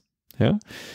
Ähm, Schlagen der Klappe, Mhm. sein Job, des sogenannten Slate heißt es im Englischen. Okay. Ja. Ähm, Führen des Kameraprotokolls, Camera Sheet. Und in diesem Camera Sheet werden alle Szenen und Einstellungen eines Tages aufgeführt. Ganz genau aufgelistet, wer wann welche Einstellung gedreht hat. Mhm. Geiler Job. Ein Lichtdubel. Wäre genau mein Ding. Stand-in. Okay. Schon mal da ist gelesen. Stand-in, ja. Hast du sicher schon mal gehört? Ja. Die, das Einleuchten einer Szene, ja, und, Aha. die, und die Kamera aufbauen, das dauert ja ewig. Ja, langwierige Vorarbeit Mhm. und die erfordert natürlich von allen nicht unmittelbar Beteiligten extrem viel Geduld. Ja. Und äh, damit die Darsteller sich in der Garderobe ruhig, ruhig auf die Szene vorbereiten können, äh, sind ihre Lichtdoubles in der Szenerie als Vertreter zur Stelle. Ah, Die stellt man halt hin. quasi nicht so gefährliche Stuntman. Genau. Das ist quasi das Stuntman für, für Leute wie Arme. uns. Ja. Und die tragen auch dieselben Kostüme wie die Stars, haben Mhm. ungefähr die gleiche Statur. Ähm, und der Kamera kann, äh, Kameramann kann somit das Licht bestimmen und Schärfetests machen, ohne die Mhm. Stars zu belästigen. Und wenn dann alles ähm, sauber eingestellt ist, dann werden die Stars aus der Garderobe geholt und können konzentriert in die Szene einsteigen. Mhm, mhm, mhm. Stand-ins. Mein Traumjob. Ja, auf jeden Fall. Rumstehen und Geld kassieren. Ja. Super. Super. Kamerakranführer, auch ein Job. Der Crane Operator. Was der macht, dürfte klar sein. Es Mhm. gibt ja Kamerakräne, die äh, eine Kamera, was weiß ich, teilweise 20, 30 Meter über den Boden heben können und es muss halt jemanden Spezialisten geben, der dieses Teil horizontal und vertikal durch die Gegend schwenkt. Dann gibt es einen Kabelhelfer. Hast du auch schon mal gehört? Das ist der Dolly Grip. Mhm. Ähm, der zieht nämlich am Drehort den Kamerawagen. Und der Kamerawagen wird im Englischen als Dolly bezeichnet. Und der fährt halt auf so eigens vom äh, Kabelhelfer verlegten Schienen, Mhm. um somit eine, eine, eine flüssige ähm, Bewegung zu, zu gewährleisten. Und, ähm, und manchmal bewegt er auch so einen ähnlichen Wagen wie das Dolly, auf dem ja der Kameramann sitzt, äh, für den äh, Tonassistenten, der da mit seiner Mikrofonangel draufsteht und die Kamera begleiten muss. Stelle ich mir anstrengend vor. Ja, viel körperlich. Mm, Finde ich Stand-in wesentlich attraktiver, muss Ja. ich ehrlich sagen. Wenn dann Stand-in. Ja. So vollkommen talentfrei, einfach. Stand-in. Ja. Einfach in der Gegend rumstehen. Dann gibt es äh, über die über sämtliche Gewerke verteilt, aber vornehmlich eben im konstruktiven Bereich eher angesiedelt die ganzen Helfer. Das sind halt Leute, die tatsächlich dann mal was anpacken. Die ganzen Sachen, die wir jetzt aufgezählt haben, ja, die stehen entweder rum oder geben Anweisungen. Nee, die tun schon was, ja. Aber so die, die Leute, die richtig anpacken, das sind die Helfer und äh, was heißt anpacken auf Englisch? Grip. Grip. Ja, das sind die Grips. Äh, und unter Leitung des Chefs, und der Chef heißt Key Grip. Key Grip. Der Schlüsselgreifer. Genau, oder Head Grip. Aha. Ja, wenn ihr im Abspann Key Grip lest, das ist der Chef, der Helfer. Der äh, hat halt seine Crew und die sind für das B- und Entladen der tonnenschweren Filmausrüstung, das sind die armen Würste. Ja. Also der Geschäftler. Ja, äh, die so verschieben sagt. die Kulissen, äh, bauen Plattformen für die Kamera- und Mhm, Lichtausrüstung, reparieren kleine Schäden, konstruieren Hilfsvorrichtungen, äh, um Die zum Beispiel eine, eine, eine, eine Kamera außen an einem Auto zu befestigen und die assistieren auch dem Kabelhelfer und dem Kamerakranführer. Mhm. Ja. Das ist die Handlanger. Das sind Minions. Ja. Dann, äh, du hast schon mal kurz erwähnt, gibt es auch äh, einen Beruf, der ist ähm, äh, also relativ neu ist, äh, ist der Steadicam-Kameramann, der Steadicam-Operator. Und äh, das ist in, der ist in der Regel auch dem, Ham dem, dem, dem Kameramann untergeordnet, wenn er nicht selbst die Funktion übernimmt. Äh, aber er ist hochqualifizierter Spezialist. Äh, bis in die 70er waren äh, gleichmäßige Kamerabewegungen zum Beispiel unmöglich, also nur möglich, indem man Schienen verlegt hat. Mhm. Ja, also die Dollies. Ähm, und die bewegliche Handkamera liefert dagegen nur wackelige Bilder. Das ist jetzt mittlerweile sogar etwas, was man wieder bewusster einsetzt, Ja, ja, das. Verwackeln. Äh, Was auch teilweise jetzt richtig nervig wird mit der Zeit, weil es jetzt jeder macht. Genau. In jeder verdammten Szene. Und die Steadicam, die vereint quasi beide Vorzüge, einmal die, ähm, die regelmäßige Bewegung und die Tragbarkeit. Ja. Und das ist halt, äh, ja, die wird vom Kameramann selber getragen. Äh, das ähm, wird aber mit Hilfe einer komplizierten Aufhängung werden die Unregelmäßigkeiten des menschlich, der menschlichen Bewegung äh, fast vollständig ausgeglichen, sodass halt die Bewegungen auf, fast, auf, auf engstem Raum ausgeführt werden können, ohne dass es halt ewig wackelt. Ne? Mhm. Ähm, und damit wird halt die Bewegungsfreiheit des Kameramanns extrem erhöht. Ja, es wird sehr, sehr oft eingesetzt äh, heutzutage. Und er hat halt so ein Korsett aus Gurten, wo die Kamera eingehängt wird, hat sicher schon mal der ein oder andere gesehen. Da hängt dann so ein gefederter Metallarm dran, der mit Gegengewichten ausbalanciert wird und nochmal einen, einen, einen eigenen Videomonitor, wo er dann, er kann ja nicht durch den Sucher gucken, sondern er hat dann nochmal einen Monitor und das hört sich alles sehr, sehr schwer an und das ist es auch. Mhm. Ja, also Was du musst so ein Ding? Du musst, ich weiß es nicht, aber ich habe auch mal ein Interview mit einem Kameramann äh, ge gelesen und der sagt auch, also du musst körperlich extrem fit sein für diesen Job. Mhm, und wenn du mal aufpasst bei der nächsten, beim nächsten Making of, wenn du einen Steadicam Operator siehst, das sind sehr gut durchtrainierte ähm, Männer meistens. Ja, also mhm. die sind wirklich muskulös, weil das echt ein anstrengender Job ist. Ein ganz, ganz winziger Punkt ohne jede Anmerkung auf meiner gesamten, äh, auf meinen gesamten Notizen sind die Darsteller. Und ihr merkt auch äh, schon, also die Darsteller kamen bislang noch kaum zur Sprache. Äh, einfach deswegen, weil sie halt Darsteller sind. Die machen halt das, was von ihnen verlangt wird. Die, äh, ja, spielen halt eine Rolle. Aber ja. im Vergleich zu diesem gesamten Monstrum an Filmproduktionen haben die Darsteller eigentlich eine verschwindend geringe Rolle. Aber sie, sie halten halt ihre Gesichter ins, äh, in die Kamera. Und, die, und kriegen dafür fahren, auch ja. die meiste Kohle. Ja, das ist halt das.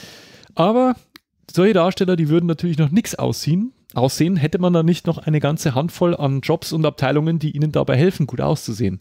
Allen voran Kostümbildner, hm. Kostümdesigner. Kostümbildner, der entwirft natürlich die Kostüme, ist klar. Ähm, die definieren halt mit dem Regisseur die Epoche und ähm, dann fangen sie halt an, äh, Kleider zu, zu produzieren. Und nach dem Motto Kleider machen Leute, spielt natürlich auch die soziale Stellung der handelnden mhm. Person eine, eine, eine, Rolle. Und anhand von einschlägigen Werken und alten Modemagazinen wird dann der Stil äh, der anvisierten Epoche rekonstruiert und manchmal durchstreift so ein Kostümbildner auch Secondhand-Läden, um, um, um, da so einen zeitgenössischen Stil zu finden und mit echten Accessoires quasi seine Kostüme zu äh, komplettieren, genau. Ähm, und auch während der Dreharbeiten muss der Kostümbildner immer anwesend sein, damit halt im Notfall auch Reparaturen äh, vor Ort vorgenommen äh, werden können. Und der arbeitet auch eng mit dem Maskenbildner und dem Friseur zusammen. Mhm. Und wie wir ja schon gehört haben, so ein Kostüm machst du nicht nur einmal, sondern viele Male. Du machst es halt zum Beispiel schon mal für die Stand-ins, für die Lichtdoubles und für die Stuntleute. Also dreimal mindestens, mindestens. mindestens schon dreimal, wenn nicht dann auch nochmal das Kostüm äh, in mehreren Zuständen. Ja. Äh, Wenn es im Laufe eines Films äh, in Mitleidenschaft wird. gezogen wird, dann mal auch so diese Zustände, aber auch dreimal. Mhm. Und so multipliziert sich das Ganze und ich habe bestimmt auch einen vergessen. Ähm, ich weiß zum Beispiel, Herr der Ringe ähm, hat äh, auch noch, also nicht nur Stand-ins und Stunt-Leute gehabt, sondern auch Darsteller für die Hobbits. Ähm, also das waren äh, ähm, kleine Leute. Mhm. Kleinwüchsige, die halt genommen wurden für, für Weidenaufnahmen. Das sieht man aber auch. Ja, und dann, dann, brauchten sie halt auch nochmal Kostüme, halt in klein. Ja. Dann äh, gibt es da natürlich auch wieder einen, äh, eine weitere Abteilung, nämlich der Garderobier, also der Wardrobe Supervisor, wie es im Englischen heißt. Und der ähm, pflegt halt die Garderobe äh, der im Film eingesetzten Kostüme unter Leitung des Kostümbildners. Und der ähm, ähm, ja, weil eben die, die Kostüme, wie schon, schon angesprochen, in mehrfacher Ausfertigung zur Verfügung gehalten werden müssen. Der muss auch genau wissen, wo es hängt, wenn es gebraucht wird, wem es gehört. Ne? Ähm, und der kauft auch nach Vorstellung des Kostümbildners äh, die Kleidung und die Accessoires ein, halt auch die Stoffe und so weiter. Und während der Dreharbeiten äh, steht er auch da und bügelt Falten und, mhm. und fliegt halt Löcher und sowas. Ne? Und der ist auch in seiner Verantwortung, ähm, alle Kostümdetails in der Szene zu dokumentieren, also notwendigerweise vielleicht auch Fotos zu machen, Notizen zu machen, damit das richtige Outfit für Anschlussszenen äh, gewählt werden kann, weil, wie du ja vielleicht weißt, die Szenen ja mitnichten chronologisch gefilmt werden, sondern mhm. oftmals sehr sprunghaft. Und da musst du ja trotzdem irgendwie gewährleisten, dass immer alles zusammenpasst. Gibt es auch noch einen ganz wichtigen Job, der das macht. Kommen wir noch zu. Ja. Ähm, und äh, ja, meistens gibt es einen Garderobier und eine Garderobiere am Für Set. Die Damen. Ja, die entsprechend die Darsteller oder die Darstellerin betreuen. Ja. Dann gibt es natürlich den Maskenbildner, den Make-up-Artist, der zuständig für die kosmetische Veränderung der Schauspieler ist und seine Bandbreite reicht von möglichst vorteilhaften, in Anführungszeichen natürlichem Aussehen der Schauspieler bis zur Verwandlung eines 20-Jährigen in einen Greis oder umgekehrt. Heutzutage macht man das schon viel digital, aber mhm. der liest halt auch das Drehbuch und wirft das Make-up der Darsteller in Absprache mit dem Regisseur und dem Kameramann, weil die Maske ja in den visuellen Kontext des Films passen muss. Einer der besten Maskenbildner, meiner Meinung nach, ist äh, der, der damals Friends gemacht hat. Da gibt es auch immer diese Rückblenden-Episoden, mhm. wo sie ja, weiß ich nicht, so zehn Jahre früher sind. Mhm. Und wenn du die mal anschaust, die sind richtig, richtig gut. Ja, es ist auch, äh, kennst du Stan Winston? Ja. Der ist, äh, war ja, Make-up ja. und äh, Creature-Effekt. Mhm, bei Hansen, oder? Mhm. Hat er gelernt, der hat bei, bei, bei Jim Henson gelernt, ja. Ähm, ja, und ja, der hat halt, der benutzt halt neben Cremes äh, auch für plastische Veränderungen halt auch Latex, Gummi, mhm. Stoffprothesen, Filmblut, das ist alles sein, Wett, sein, sein Metier. Ja? Und da kann halt Wunden simulieren und äh, Maßmenschen kreieren. Ja. Und der Maskenbilder muss halt wie der Friseur für Reparaturen auch immer am Set sein, ne? wenn die Maske irgendwie einen Riss kriegt und so. Ja, und oftmals sieht man ja auch, äh, je nach auf, also wie aufwendig die Masken sind, sitzen die Darsteller teilweise 5, 6, 7, 8, 10 Stunden in der Maske, bevor sie überhaupt mit Tränen anfangen. Ja. ja. Dann gibt es natürlich den Friseur, den Hairstylist, der ähm, die Frisur eines Darstellers für die Charakterisierung seiner Rolle mindestens äh, ähm, äh, der, der Frisur ebenso wichtig ist wie, wie seine Garderobe oder das mhm. Und der kümmert sich halt auch um die Haarschnitte, um Styling, die nötigen Haarteile, die Perücken. Und er arbeitet halt auch eng mit Maskenbildnern und Kostümbildnern zusammen. Ne? Und der ist auch immer anwesend, weil halt, wenn mal ein Härchen verrutscht auf dem äh, Haupt eines, äh, eines Darstellers, dann müsste es natürlich auch sofort äh, wieder frisiert und ähm, mit Haarspray fixiert. Dann kommt ein ein äh, Posten, der auch nicht ganz unwesentlich für den Look eines und den Stil eines Films verantwortlich ist. Und das ist der Produktionsdesigner, im Englischen Production Designer. Auch ein Oscar-Posten, Best Production Design, mhm, erinnerst mhm. dich? Und der ist der künstlerische Gestalter des Filmprojekts und trägt die Verantwortung für, die, für den optischen Gesamteindruck. Früher nannte man den in Deutschland den Bühnenbildner oder den Ausstatter. Ah, ah ja. Der setzt die Ideen des Regisseurs in dreidimensionale Bauten um. Ja? Und als Chef der Ausstattungsabteilung ist er der Vorgesetzte des Art Directors, hast du auch schon mal gehört. Mhm. Und der Produktionsdesigner arbeitet eng mit dem Kameramann und den Kostümbildnern zusammen. Und die Ausleuchtung und die Kamerabewegungen haben natürlich auf dem von ihm entworfenen Set wesentliche Auswirkungen. Also der muss natürlich schon seine Sets so designen, dass die, sich die Kameraleute bewegen können und die Beleuchter ihre ähm, ihre, Beleuch äh, ihre, Beleuchtung unterbringen. Und natürlich müssen auch die Kostüme im Stil und in der Farb Farbgebung mit der Dekoration des Sets korrespondieren. Mhm. Also Production Designer ist ein ganz, ganz wichtiger Job, geht direkt gefolgt vom Art Director. Und der heutige Produktionsdesigner wurde früher äh, Art Director genannt. Ja? Das war früher äh, im Prinzip ein Synonym. Ähm, und der Produkt, aber der Produktionsdesigner, äh, der ist halt verantwortlich ist die verantwortliche Position in der Abteilung und der Art Director in der jetzigen Bedeutung ist sein erster Assistent. Mhm. Ja, früher war es der Set Designer, heute heißt es halt Art Director. Und das ist quasi der Assistent des Production Designers. Und der überwacht halt die Ausführung der Farb- und Oberflächenmuster, die Ausführung der Pläne und des Produktionsdesigns. Sein, Assist, sein Assistent baut maßstabsgetreue Modelle der Sets zur Planung der Dreharbeiten. Der Art Director assistiert beim Entwickeln von Ideen zur Oberflächengestaltung und zu architektonischen Details. genau. Ja, was braucht man denn alles zum Bauen? Holz, Steine. Ja, nee, an Leuten, an, also an, an, an viele, human, human Resources. Viele. ja, man viele braucht mal einen Kulissenbauer. Ja. Construction Coordinator. Und der ist halt verantwortlich für die Ausführung der Pläne des Produktionsdesigners und der hat halt so eine Construction Crew, ja, so ein Team, die halt für den Kulissenbau zuständig sind und der stellt halt künstliche Wände und spezielle mhm. Möbel und der muss sich halt auch ein bisschen äh, an das Budget halten, logischerweise, der kann es nicht einfach, was weiß ich, alles mit Blattgold belegen, sondern muss schon ein bisschen aufs, auf die Kohle achten und der braucht halt ähm, handwerkliche und ähm, organisatorische Fähigkeiten. Die Hornburg aus Herr der Ringe 2 wurde in Teilen wiederverwertet für Minas Tirith den Herr der Ringe 3. Ganz genau. Der macht sowas. Der plant sowas. Mhm. Ja, aus Budgetgründen. Natürlich schlau. Äh, dem unterstellt ist natürlich, äh, unter Aufsicht des Kulissenbauers arbeitet der Tischler, der Schreiner, der Carpenter Mhm. auf Englisch.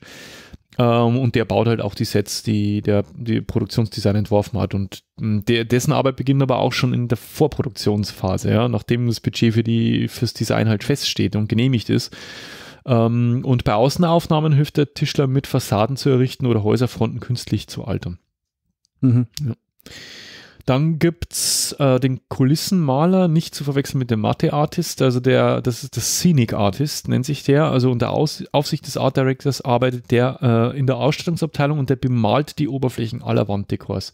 Der stellt Gemälderequisiten oder Skulpturen her, malt Schilder, künstliche Himmel vielleicht, das ist auch so ein bisschen aus der Mode gekommen, Ja. äh, kann aber auch Oberflächen, Sets, Kulissen und sogar Kostüme künstlich älter erscheinen lassen. Also der bemalt einfach alles. Ja, der gibt dem Ganzen Patina. Dann gibt es den Innenrequisiteur, den sogenannten Set Decorator. Das wäre übrigens auch ein geiler Job oder Set Dresser genannt.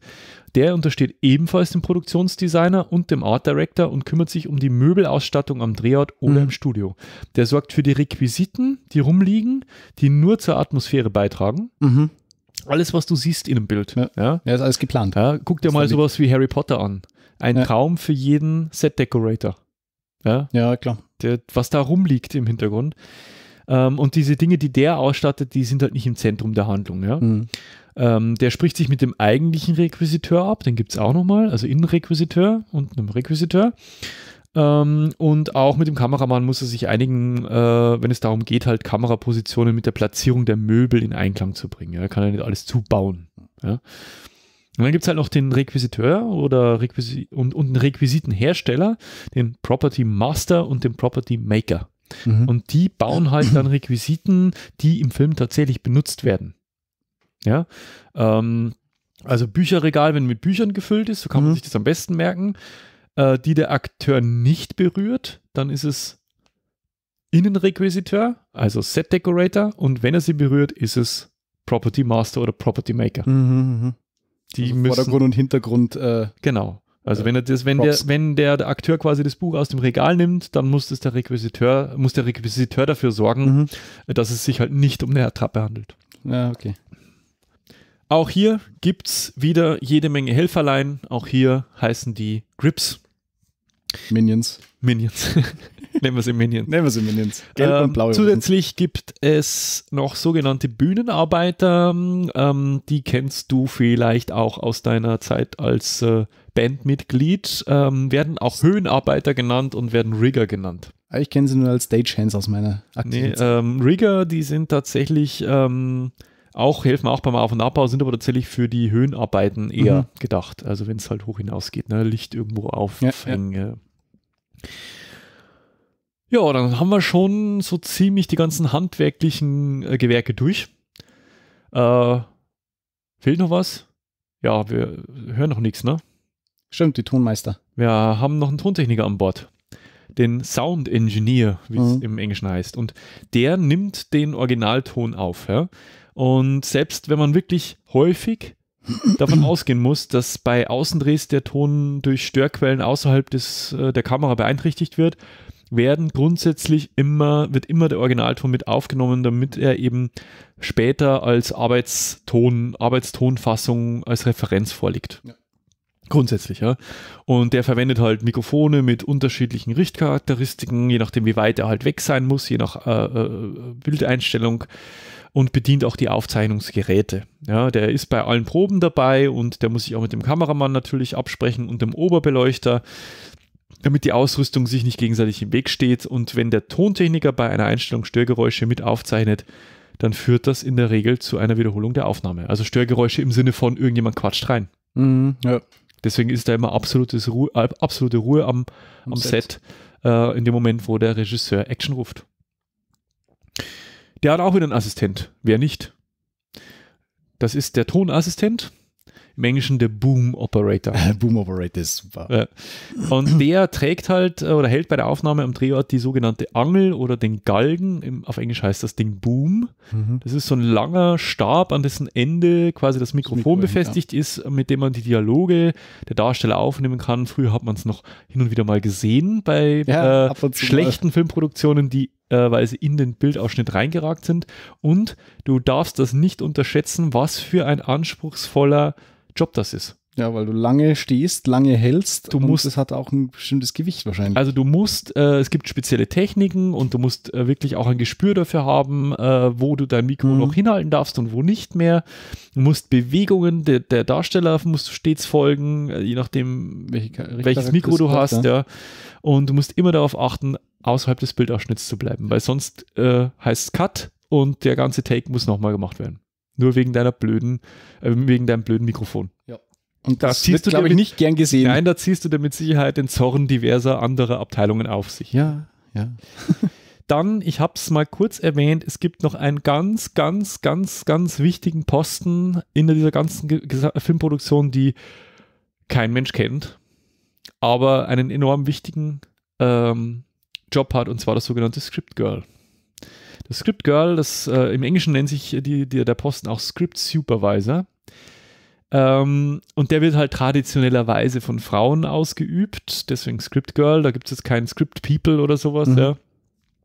Und die führt tatsächlich ein äußerst detailliertes Protokoll aller Aktivitäten am Drehort. Jede kleine Änderung in den Aktionen der Schauspieler, ihrer Position zur Kamera, ihrer Dialoge wird genau vermerkt.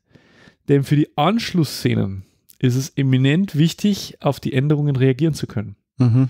die guckt halt auch, wie, wo stand der, wie stand der, wie hat er geguckt, wie war die Kamera positioniert, die dokumentiert das haarklein. Ja?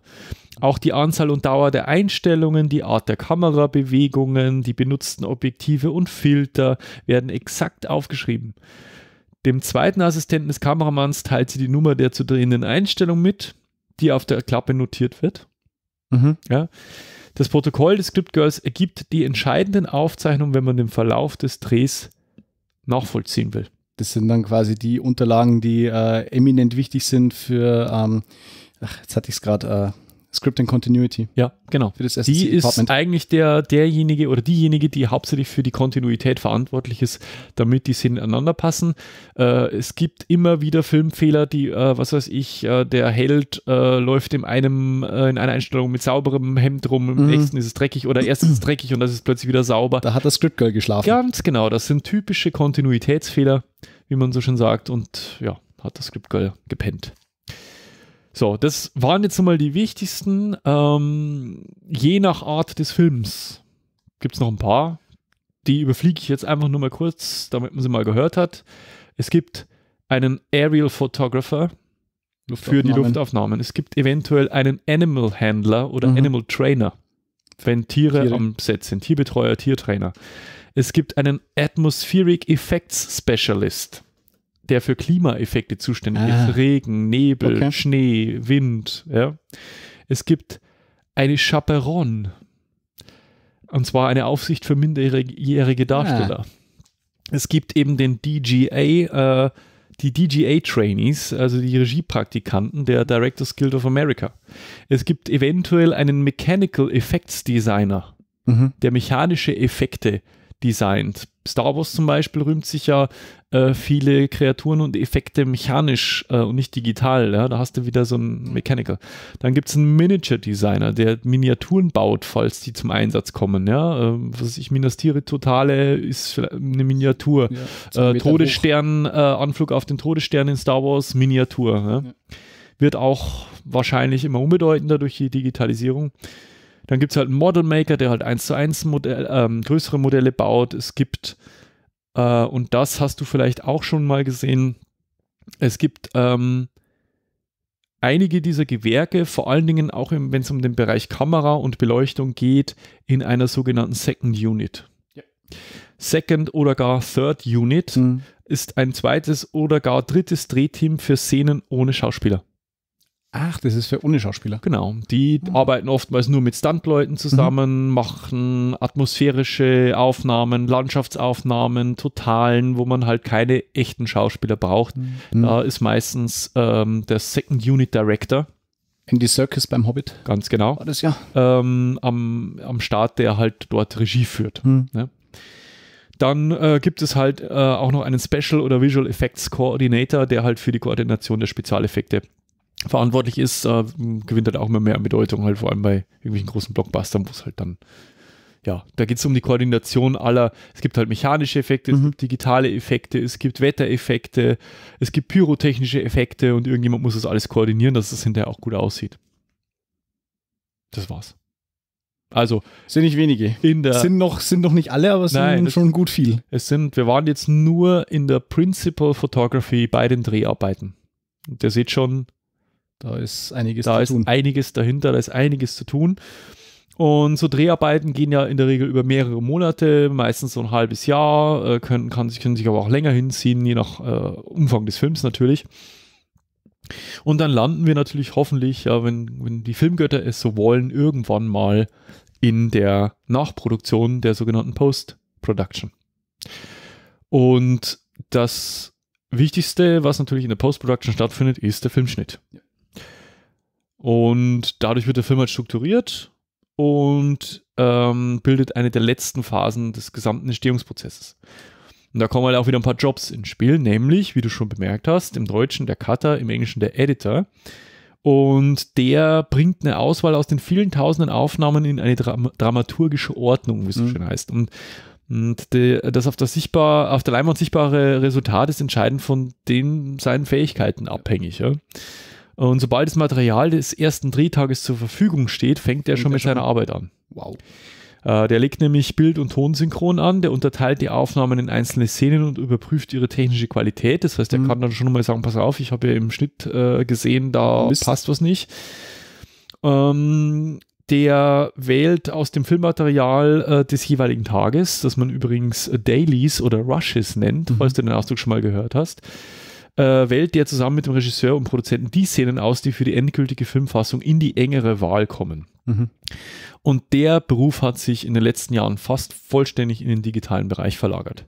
Selbst wenn du filmst, auf Film wird das Rohmaterial äh, digital angeliefert, ähm, beziehungsweise halt auch digitalisiert, äh, um Schnittfolgen und Varianten äh, mit sehr, sehr, sehr viel geringerem Aufwand am Computerbildschirm halt durchzuspielen. Das ging halt früher nicht. Ja, und vor allem, du kannst dich mal nicht schnell einfach verschneiden, Genau. weil dann Genau. halt rückgängig und gut. Das, dieser Begriff kommt halt einfach dadurch, weil Mhm. früher geschnitten wurde. Es Ja. wurden Filme, also äh, das Negativ des Films wurde geschnitten, aneinander geklebt, wirklich. Habe Ja? Mhm. ich auch noch gemacht im, Ja. in meiner Zeit als Filmvorführer. Genau, und ähm, ja, natürlich wird's, äh, es, es sind nicht alle Kinos weltweit voll digital. Es gibt schon noch welche, die äh, Film ähm, zeigen, ähm, äh, aber letztendlich wird ein digitales Produkt ausbelichtet auf äh, einen unbelichteten Film dann und äh, halt vervielfältigt.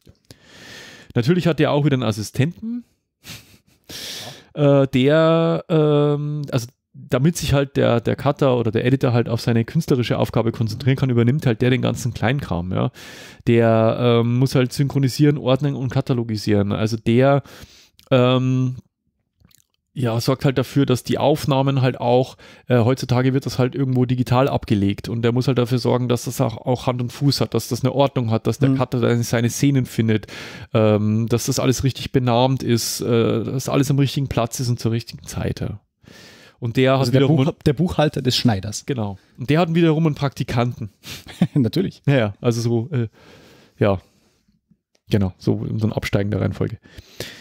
Äh, und ein nicht unwesentlicher Teil, also ihr habt ja schon gemerkt, äh, dass der, der Tontechniker oder der Toningenieur während der Aufnahmen äh, eigentlich eine sehr untergeordnete Rolle spielt, wenn man sich alles andere so anguckt. Der ist halt dabei. Ja. So, der nimmt halt auf, natürlich muss Ruhe sein und so und der muss auch was können, ist ja nicht so, aber eigentlich hat man ja, habe ich ja erzählt, geht es ja nur darum, dass man erstmal so ein bisschen Ton hat. Mhm. Äh, und da unterscheiden sich, glaube ich, so die typischen Hollywood-Blockbuster ein bisschen von äh, eher unabhängigen Produktionen, die sehr viel Originalton verwenden. Mhm. Ähm, aber in der Regel ist es so, dass halt äh, wahnsinnig viel nachvertont wird. Ja? Und da kommen also im Nachhinein kommt der Ton und äh, die Jobs dann in der Hinsicht auch viel mehr zum Einsatz. Da gibt es halt den äh, Tonmeister, der Supervising Sound Editor. Und der ist halt der leitende Tontechniker und ist für den gesamten Ton des Films außer der Musik zuständig. Mhm. Das heißt, er stimmt die Dialoge mit den Geräuschen ab. Und der muss schon vor den Dreharbeiten natürlich mit dem Tontechniker die Aufnahmen planen. Eventuell brauchst du ja auch zusätzliche Geräusche vom Set schon, Mhm. zusätzlich zu den Dialogen. Und der stellt halt für den Rohschnitt des Films schon mal so eine vorläufige Tonfassung zusammen, dass halt der, der, äh, der Cutter äh, schon mal irgendwas hat, mit dem Ja, er halt akustisch arbeiten kann. Ja. Ja. Und äh, die Fassung enthält halt meistens auch vorläufige Musik.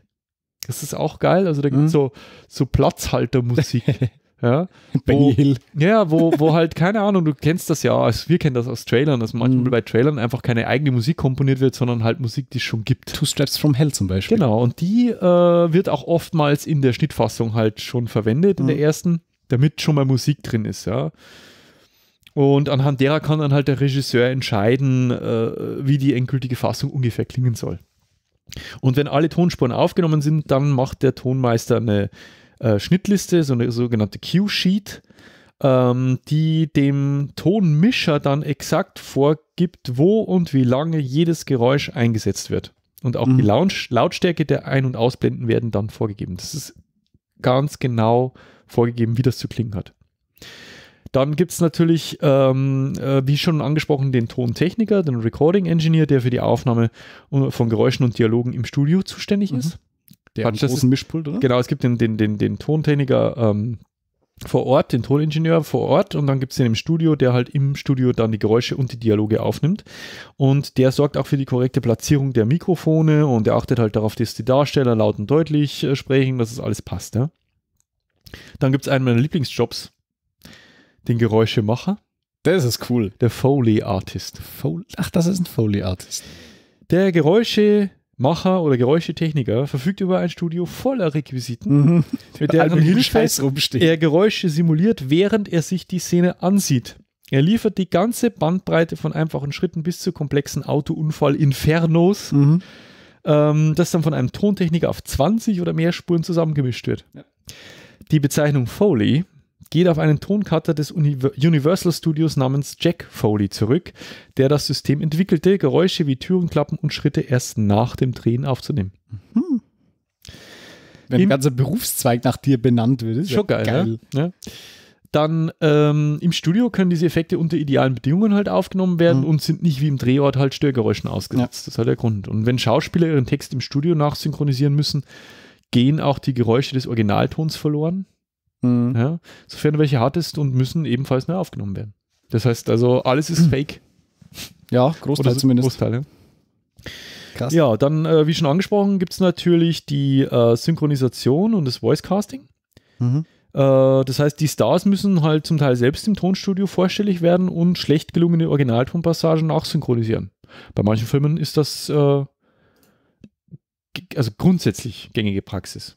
Ja. Und bei den vielen Nebendarstellern äh, wäre es natürlich unwirtschaftlich. Mhm, ja. Ähm, und deswegen gibt es sogenannte Additional Voices oder auch ADR Voices genannt. Aha. Hast du auch schon mal gelesen, Ja, sicher? Die die kleinen Sprechrollen in der englischen Originalfassung synchronisieren. Das Das heißt, sind ja die, quasi gar nicht die Stand, also die, die Extras, die dabei sind.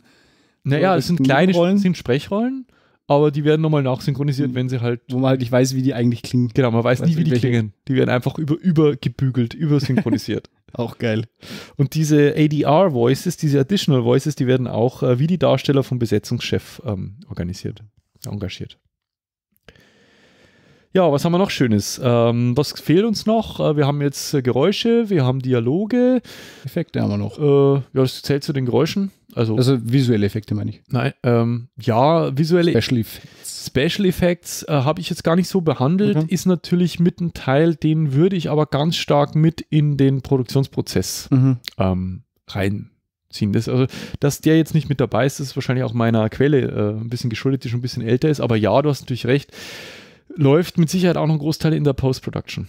Ja, das sollte man sicher nicht unerwähnt lassen. Nein, ich meinte die Musik. Naja, das war ja. Ähm, da gibt es halt den Komponisten, den Composer und die Untermalung des Films ist halt äh, ja, neben dem Schnitt äh, und dem, dem sonstigen Ton natürlich auch einer der wichtigsten, ähm, einer der wichtigsten Punkte in diesem oder einer der letzten Mhm. wichtigsten Schritte in diesem ganzen Produktionsprozess. Im günstigsten Fall setzen sich halt der Komponist und der Regisseur schon zu Beginn der Vorproduktion mal zusammen und, und äh, wenn sich halt die ersten Konturen des Films abzeichnen, um dann halt zu bestimmen, äh, wie, wie der Stil halt sein soll. Ja? Und, äh, aber die Komposition entsteht halt erst, wenn der Film geschnitten ist. Ist ja klar. Also Ja. die ganzen Stücke, die müssen ja halt irgendwie reinpassen in den Schnitt. Ja? Und äh, Komponist und, und Regisseur, die sehen sich halt die Schnittfassung gemeinsam an und bestimmen dann halt die Szenen, die äh, Musik bekommen sollen und, und welche halt nicht und dann halt auch welche Richtung da angebracht ist. Und häufig dirigiert halt auch der Komponist äh, das Orchester selber. Das ist sehr, sehr häufig der Fall, mit dem dann die Musik eingespielt wird. Und äh, der hat dann zur Kontrolle immer, hast du auch schon mal gesehen, das Filmbild mit Timecode vor sich. Ja, da gibt es in dieser dort wo halt aufgenommen wird, in, dieses, in diesem Saal, äh, oftmals halt eine große, eine große Leinwand, wo der Film mitläuft. ja. Meistens im Rücken der, äh, des Orchesters. ja, macht auch Sinn. Sicht, sichtbar für den Dirigenten, sprich dem Komponisten.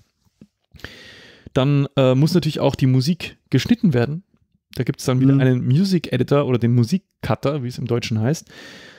Und äh, der kommt halt zu, der, der, der, der darf halt dann ran, wenn die endgültige Schnittfassung des Films feststeht. Und gemeinsam mit dem Regisseur und dem Komponisten legt er dann fest, welche Stellen in Musik halt unterlegt werden, welche Momente musikalisch Mhm. intensiviert und welche Stimmungen hervorgehoben werden sollen. Und der überwacht die Einspielung der Musik und schneidet anschließend den Soundtrack. Und als Assistent des Komponisten äh, bereitet der ein sekundengenaues Schnittprotokoll äh, des Films vor, um exakte Längen der Musiksequenzen zu gewährleisten. Mhm. Also der sagt Ja. dann genau, der muss jetzt genau zwölf Sekunden und 500 lang sein, dieser Part, damit er da reinpasst. Voraussetzung ist eine musikalische Ausbildung. Kannst du nicht einfach so mal Nee. eben machen, nicht so wie Stand-in. Ja? Nee. Äh, Und deswegen hilft er häufig auch beim Komponieren. Mhm. Und während der Dreharbeiten arbeitet er auch mit dem Toningenieur zusammen und die fertigen Tonaufnahmen werden schließlich zum Musik-Soundtrack auf einer Tonspur oder auf mehreren auch zusammengeführt. Dann gibt es halt auch nochmal einen Orchesterleiter, Musician Contractor und der Orchesterleiter, der stellt halt die Musiker ein, die für die Aufnahmen dann benötigt werden, ne? des Scores. Mhm. Soundtrack ist äh, so ein bisschen Sind weitläufigerer zwei Begriff. unterschiedliche Sachen, ja. Ja, wird oftmals verwechselt. Der, ein klassischer Soundtrack ist eigentlich eher das, was man als Musik äh, Mhm. bezeichnet, lizenzierte Musik oder vielleicht auch eigens geschriebene. Aber der klassische, die, die Musik mit einem Orchester eingespielte Musik, das nennt man Score. Und der untersteht dem Musikcutter oder dem Komponisten und der spielt auch häufig selber ein Instrument, dieser Orchesterleiter. Mhm. Dann gibt es noch einen Aufnahmeleiter, einen Musikaufnahmeleiter, der muss natürlich die ganzen Aufnahmen überwachen und die Qualität und der vermittelt auch so ein bisschen zwischen dem Komponisten, dem Regisseur, dem Produzenten und dem Filmcutter. Ist auch nochmal so eine, ja, so ein Verschiebebahnhof.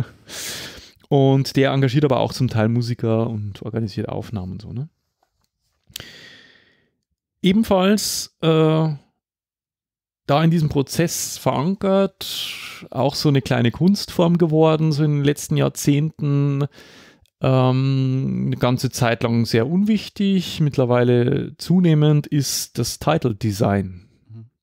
Das heißt, es gibt äh, so einen Title Designer, der entwirft halt das grafische Layout des Vor- und Abspanns. Das ist tatsächlich so ein eigenständiger Job und der arbeitet natürlich auch, muss mit dem Regisseur und dem Komponisten zusammenarbeiten, weil der natürlich für Vor- und Abspann auch Musik komponieren muss. Mhm. Und äh, ich gucke dir doch mal äh, so eine Marvel-Produktion an heutzutage. Die haben keinen Vorspann mehr, Ja. äh, aber einen meistens sehr künstlerisch gestalteten Abspann. Und da kommt der ins Spiel, Mhm. Mhm. seine Leute. Ne? Ganz am Ende, und das ist eine der zentralen Figuren im, im äh, Prozess der Nachproduktion, ist der Tonmischer, der Re-Recording-Mixer. Und jetzt kommt ein Bild ins Spiel, das du sicher schon mal gesehen hast. Es sitzen eine ganze Menge Leute in einem Raum mit Mhm. einer Leinwand, mit super tollen Boxen und einem mega Mischpult vor sich und einer großen Leinwand, auf dem der Film läuft. Und dann wird nachgemischt. Diese, ähm, äh, diese Schieberegler bewegen sich wie von Geisterhand. Mhm. Ja, diese Fader, das sind so Autofader. Das ist, die, das ist quasi der Posten des Re-Recording-Mixers, der halt, wenn der Film fertig geschnitten ist, der muss diese unzähligen Tonspuren, 50, 60, 100 Tonspuren und mehr, ähm, auf denen Dialoge, die natürlichen Mhm. Geräusche, die künstlichen Geräusche, die äh, mehrkanalige Musik äh, daherkommt, die muss der In ausbalancieren. Mhm. Genau. Und das der ist muss richtig übel. das richtige Lautstärkenverhältnis gegeneinander äh, ausbalancieren und erstellt daraus einen Master. Und bei mehrkanaligem Ton müssen sogar entsprechend links, rechts, vorne, hinten, oben, unten äh, akustisch korrekt zum Filmbild auch noch abgemischt werden. Yep. Das ist also ein Höllenjob. Ja, das stelle ich Auch, mir auch nicht auch ein, vor, ja. ein ähm, ihr Sounddesign ist ein, ist ein Oscar, äh, Mhm. glaube ich. Ne? Und der Tonmischer manipuliert bei Bedarf auch nochmal die Originalgeräusche, wenn die nicht so hundertprozentig passen. Sodass zum Beispiel eine Stimme so klingt, als käme sie aus dem Telefon oder irgendwie aus einer Höhle oder so. Ne? Das macht der noch. Und äh, meistens sind eben bei dieser zeitraubenden Endmischung der Regisseur, der Produzent, der Cutter, der Tontechniker, der Music Cutter und deren Assistenten anwesend. Und das ist eben so dieses Bild, das man kennt, wenn alle schon eh am Arsch sind von der, von der äh, ich erinnere mich da in, an Herr der Ringe oder Hobbit, Äh. wo dann alle schon äh, kurz vor der Premiere äh, unter Zeitdruck noch diese Tonabmischung fertig machen. ja, die raubt viel Zeit, glaube ich. Genau. Richtig viel. Ja, jetzt äh, bin ich eigentlich schon am Ende meiner, ähm, also des, des Entstehungsprozesses eines Mhm. Films, also mit dem abschließenden äh, Mix, also äh, mit dem Tonmix ist der Film eigentlich fertig. Nur dann kennt ihn noch keiner. Ist richtig. So, jetzt hat sich natürlich das Marketing in den letzten Jahrzehnten so ein bisschen verselbstständigt. Das liegt natürlich viel an den sozialen Medien. Mhm. Aber nichtsdestotrotz äh, würde halt der beste Film im Kino versauern, wenn die Öffentlichkeit nichts davon mitkriegt. Und es gibt halt einfach ausgeklügelte Werbestrategien. Ich werde jetzt nicht auf alles eingehen. Das ist, da könnte man noch mal einen eigenen Podcast füllen zum Thema Marketing. Und das ist untrennbar mit dieser ganzen Filmproduktionsgeschichte verbunden. Das läuft an, wenn äh, sich äh, Regisseur und Drehbuchautor gefunden haben, äh, Regisseur und, und Kameramann für ein Projekt gefunden haben, findest du schon erste Meldungen. Ja? Das gehört alles schon Mhm. zum Marketing. Und äh, auch ein wichtiger Teil des Marketingteams ist beispielsweise auch immer so ein bisschen andere Verleiher im Auge zu behalten. Was bringen denn die so raus? Klar. Ja, wann bringen die das raus? Wann ist denn, denn der Starttermin Mhm. oder der, ein günstiger Starttermin für meinen Film? Ja, ähm, es gab mal, kennst du Deep Impact? Ja. Äh, Ein Film über Meteoriten. Kennst du ähm, Inferno? Mhm. Auch ein Film über, ein, ein Naturkatastrophenfilm. Und es gab Armageddon. Ja. Ja, und die haben sich irgendwie, war das so eine Asteroid, ja, ich meine jetzt eigentlich eher Armageddon und Deep Impact, aber die haben sich so, die haben so ein bisschen konkurriert damals. Mhm. Ja, stimmt. Äh, und Armageddon ist da deutlich besser weggekommen. Ne? äh, ein zweites Beispiel noch. Äh, du kennst H.P. Lovecraft? Ja. Diesen, diesen äh, Horrorautor Ja, aus ja. dem 19. Jahrhundert. Call of Cthulhu und Call so. of Cthulhu, ja. genau. Und der hat ja auch diese, die Berge des Wahnsinns, Mountains of Madness geschrieben und es sollte von Guillermo del Toro verfilmt werden vor ein paar Jahren. Wurde nicht realisiert, weil nämlich zeitgleich äh, Prometheus Ah, gedreht wurde. Und es geht ja ähnlich. bei den, äh, bei den zwei oder bei den zwei Stories so um ähnliche Themen. Themen, diese, diese, ähm, der Ursprung der Menschheit und lauter solche Geschichten. Und naja, Prometheus hat halt gewonnen, sage ich jetzt mal. Ridley Ja. Scott hat natürlich da die, die Oberhand behalten, aber soll jetzt tatsächlich noch stattfinden. Also Mounds of Madness äh, heißt es jetzt doch, dass er irgendwann noch kommt. Ah, okay. Naja, es gibt, es gibt, glaube ich, schon mal einen kleinen Unterschied zwischen ähm, ein Projekt wird erstmal eingefroren, Mhm. weil es ein Konkurrenzprojekt gibt oder Projekte laufen und suchen sich einen Starttermin aus. Ja, und das ist, glaube ich, auch äh, der, der, wer zuerst kommt, mal zuerst. Ja. Und wer die mehrere Kohle hat. Und das ist, glaube ich, aber auch mit ein Grund. Ja? Äh, das Marketing ähm, muss sich auf einen Starttermin festlegen, äh, der halt, ähm, sage ich mal, die Einspielergebnisse begünstigt, setzt Mhm. dadurch natürlich die gesamte Produktion unter Druck. Ja, also das ist so. Mhm. Äh, auf der anderen Seite, wenn du, wenn du zu lange wartest, kann es sein, dass der designierte Starttermin weg ist, weil irgendein anderer Blockbuster eines anderen Studios anläuft und du guckst mit dem Ofen ins Gebirge oder verzögert sich das Projekt um ein halbes Jahr, weil du es dann zu Weihnachten bringen willst. Ja. Ähm, was natürlich mit in diesen Marketingprozess einfließt, das ist ein Job, den ich schon erwähnt habe, das ist dieser Still-Photographer, diese Standfotos vom Set, die werden oftmals halt gestreut, teilweise auch gezielt von den Stars über Social Media. Also die werden, die, die, diese Fotos, die die da machen, brauchst du nicht glauben, dass die äh, einfach so mit ihren Handys da rumfotografieren No dürfen. way. Mm, Oftmals merkt man ganz, ganz deutlich, so kurz äh, nach dem Start eines Films dürfen die dann ihre privaten Fotos äh, Mhm, tatsächlich äh, raushauen. raushauen. Und ansonsten sind das wirklich so äh, digital, also weitergegeben vom, vom Still-Photographer und dann darf halt mal der Star eins veröffentlichen Mhm. und mal der Star eins Also veröffentlichen. geplante und also diesen Social. Buzz quasi zu füttern. Ne? Ja. Ähm, und was auch immer mehr, und das ist jetzt der letzte Punkt in, in der langen, langen Reihe an, an Marketingstrategien auch ähm, immer wieder zu tragen kommt, ist natürlich die Pressetour der Darsteller. Ja. Und die damit verbundenen Premieren. Früher war das halt eine. Früher hat man halt eine einzige große Premiere, meistens halt in Hollywood, in LA irgendwo gemacht. Mittlerweile sucht man sich da schon strategisch auch über den Globus verteilt Mal Welttournee. Genau, ist ja, weil, also ist halt dann oftmals nicht, ähm, also Premierentermine halt verteilt über den Globus Mhm. und macht dort einen ganz pompösen, einen ganz pompösen Akt. Ja.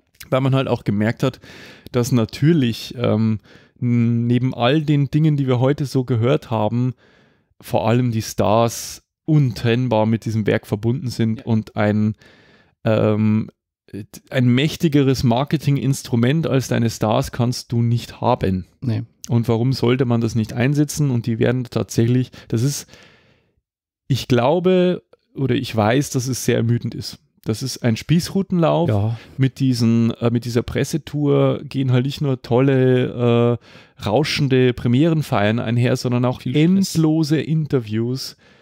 Äh, heute hier, morgen da, Tausend Jetlag, Selfies. tausend Selfies, Ja, äh, hunderttausend Autogramme. Und natürlich kann man dann jetzt sagen, wie sagt man im Englischen so schön, comes with the territory. ja. Also wenn du halt äh, eine Schauspielkarriere und Ruhm und Erfolg anstrebst, dann ist das halt so, dann musst Gehört du das zum Job, mitnehmen. Dafür verdienen sie halt auch gut genug. Genau, genau. Ähm, aber äh, ich, weißt du, das vergisst man, glaube ich, manchmal so ein bisschen. Ich will jetzt nicht irgendwie Stars in Schutz nehmen, aber äh, da heißt es immer, ja, die stellen, stehen ja nur vor der Kamera und äh, können, manche können sehr gut schauspielern, ja, aber dann ist ja deren Schuldigkeit getan, ist es aber nicht. Hm. Also ich glaube, eine Person des öffentlichen Lebens zu sein, ein bekannter Filmstar, ist kein leichter Job. Nein, ist es auch nicht. Und, Kann ich mir gut ja, vorstellen. also das ist echt äh, ermüdend. Knochenjob. Bevor wir zu unserem Fazit kommen, ich habe noch ein, ich habe es mir nicht notiert, ich habe es vergessen, aber ich habe noch eins für dich, weil ich fand es auch so interessant und ich wüsste nicht vorenthalten, das ist ganz kurz nur, weil man so oft den Abspänen liest und sich immer fragt, was zur Hölle soll das heißen? Hinter Cuttern, äh, die schneiden, steht oftmals ein Kürzel. Mhm. Weißt du welches? Äh, gerade nicht. Äh, ACE, Ja, ja, ja. ACE, ja? Ace. Ja. ACE, das ist die, ähm, das sind die American Cinema Editors. Ah, Das ist auch so eine Gilde. Das ist eine, ein Verband. Aha. Ja. Es gibt, ähm, äh, es gibt auch noch die, die ACS, Mhm. das Kürzel, das sind die Australian Cinematographers Society. Und dann gibt es noch, ähm, ja, ähm, es gibt noch die ASC, gibt es auch noch, das ist die American Society of Cinematographers. Also das sind so diese Kürzel, die man immer liest. Und das sind im Prinzip halt ähm, Cutter und äh, Kameramänner, die einer äh, äh, einem Verband angehören, Mhm, mhm, mhm. organisiert sind P sozusagen. PGA gibt es ja auch, das wird dann die Photographer Guild of America sein wahrscheinlich. Weiß ich nicht. Das sieht man auch, glaube ich, oft. PGA, glaube ich, war es. Ja, gut möglich. Habe ich jetzt nicht. Das sind, das sind so Vereinigungen quasi, in denen der drin ist. Ja, Verstehe. dann wäre ich tatsächlich am Ende. Es war erschöpfend, es Ja. war ausführlich. Aber es war sehr interessant. Ich, vielen Dank, Marco, für die sehr, sehr ausführlichen äh, Ausführungen. Ja, das geht normal nicht schnell. ja, eh, ist klar. Das Filmproduktion dauert auch lang. Ja, Genauso auch eine so eine hervorragende Podcast-Produktion. Ja. Nee, äh, war sehr interessant. Äh, waren wir einen Ticken schlauer. ja ich habe ähm, vielleicht für alle Interessenten ähm, meine Quellen. Ich habe jetzt zwar in den Shownotes ein paar, werden ein paar verlinkt. Das sind digitale Quellen. Meine Hauptquellen waren aber zwei Bücher.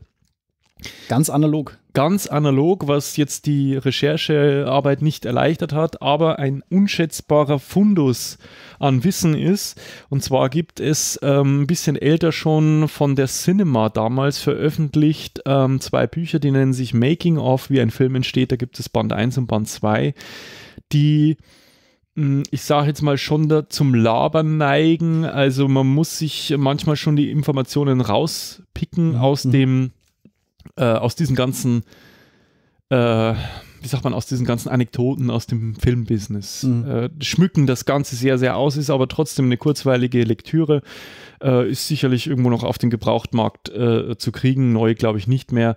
Ähm, ich, äh, mein Dank geht an, an der Stelle an meine Freundin, die diese Bücher mit in unsere Beziehung gebracht hat. Vielen, vielen Dank dafür. Das war mir eine, eine unschätzbare Quelle ähm, für diese Recherche und auch ich, ähm, obwohl ich mich schon sehr, sehr lange in diesem, also ein, ein Cine, wie sagt man, ein Cineast, ein Cinephil bin, äh, habe einiges Dazu hm, gelernt. dazugelernt. Ja, cool. Dein nächster Film zu gucken? Mein nächster Film natürlich Mission Impossible Fallout. Ja. An der Stelle ähm, äh, Shameless Self-Plug. ähm, unbedingt auf unseren Schwester-Podcast verwiesen, cut.exclamatio.de, der sich fast ausschließlich mit Filmen beschäftigt. Tja, in aller Tiefe. Puh, Huh, Sauerstoff äh, bei 10% hier drin, gefühlt, ja. gefühlt. Du wartest sicher schon Ja. mit Spannung Neue Frage, neue Frage. ja, auf die Frage, die du mir voraussichtlich in vier Wochen beantworten darfst. Und auch diesmal, so wie bei, ähnlich wie bei dir, war äh, meine Freundin äh, der Tippgeber. Oje. ähm, nein, keine Angst, ist halb so wild. Ähm, die äh, ja auch so kurz vorm Bett gehen, beim Zähneputzen, äh, irgendwie so auch der. ja, so ungefähr. Ja, Mensch, ich brauche noch ein Thema für ein Böhmi. Äh, so ein bisschen Revanche für diese äh, stundenlange Recherche. und so. Nee, nee, und, und sie meinte halt, ja, weil es gerade tatsächlich mal wieder so eine gewisse Medienpräsenz hat oder hatte, sagte sie, frag doch den Böhmi mal, wie funktioniert eigentlich Gentechnik? Gentechnik. Ui. Ja. Das ist schön. Und äh, ja, sie dachte da so an, naja, wie, wie funktioniert es denn? Also natürlich der technische Aspekt, Aha. aber auch, äh, was spielt es denn für eine Rolle jetzt in unserer Gesellschaft? Ne? Also wie, Mhm, wie funktioniert das? Was hat das für einen Stellenwert? Wo kommt es zum Einsatz? Ja, was gibt es da für ethische äh, Bedenken und so weiter? Also halt einfach, ja, Schönes Thema. ja, fand ich auch. Und sage ich, hey, das nehme ich. Super. Nee, Ja. bereite ich vor. Machen wir in vier Wochen. Sehr gut. Ja, dann äh, würde ich sagen, kommen wir zu einem kurzen äh, Feedback, Rückmeldungshinweis, äh, Abschnitt. Wir freuen uns natürlich wie immer über jede Art von verbaler oder finanzieller Zuwendung. Ja? Und wer uns unterstützen oder einfach eine Rückmeldung geben möchte, der kann seinen Freunden von uns erzählen, Uns auf Twitter, Facebook oder YouTube folgen. diese oder jede andere Episode kommentieren, Uns eine Nachricht schreiben. Uns bei iTunes bewerten, Uns bei Panoptikum IO empfehlen. über unser Partnerprogramm bei Amazon einkaufen. Oder uns eine Sach- oder Geldspende zukommen lassen. Die Links dazu findet ihr wie immer in den Shownotes dieser und anderer Episoden im Podcast-Client eures Vertrauens und natürlich auf aha.exclamatio.de. In diesem Sinne bedanken wir uns wie immer ganz, ganz herzlich fürs Durchhalten. War, glaube ich, wieder ein Rekord. Ja, heute Rekord wieder 1,50 Ich- ich- aktuell fast. Ich reiße alle Counter. Rekorde. Das liegt aber auch an den Themen, die du mir stellst. Ja. Ja, siehst du. Ähm, Wir wollen ja was bieten. Genau, Ja. und jetzt haben wir, wir, wir knabbern an der Zwei-Stunden-Marke. Nicht schlecht. Okay, Methodisch inkorrekt aufgepasst. genau. ja, da kommen wir lange nicht ran. Ja, nee, die. Okay, und dann, äh, ja, wie gesagt, danke fürs Zuhören. Bleibt neugierig und bis zum nächsten Mal. Macht's gut. Ciao. Tschüss.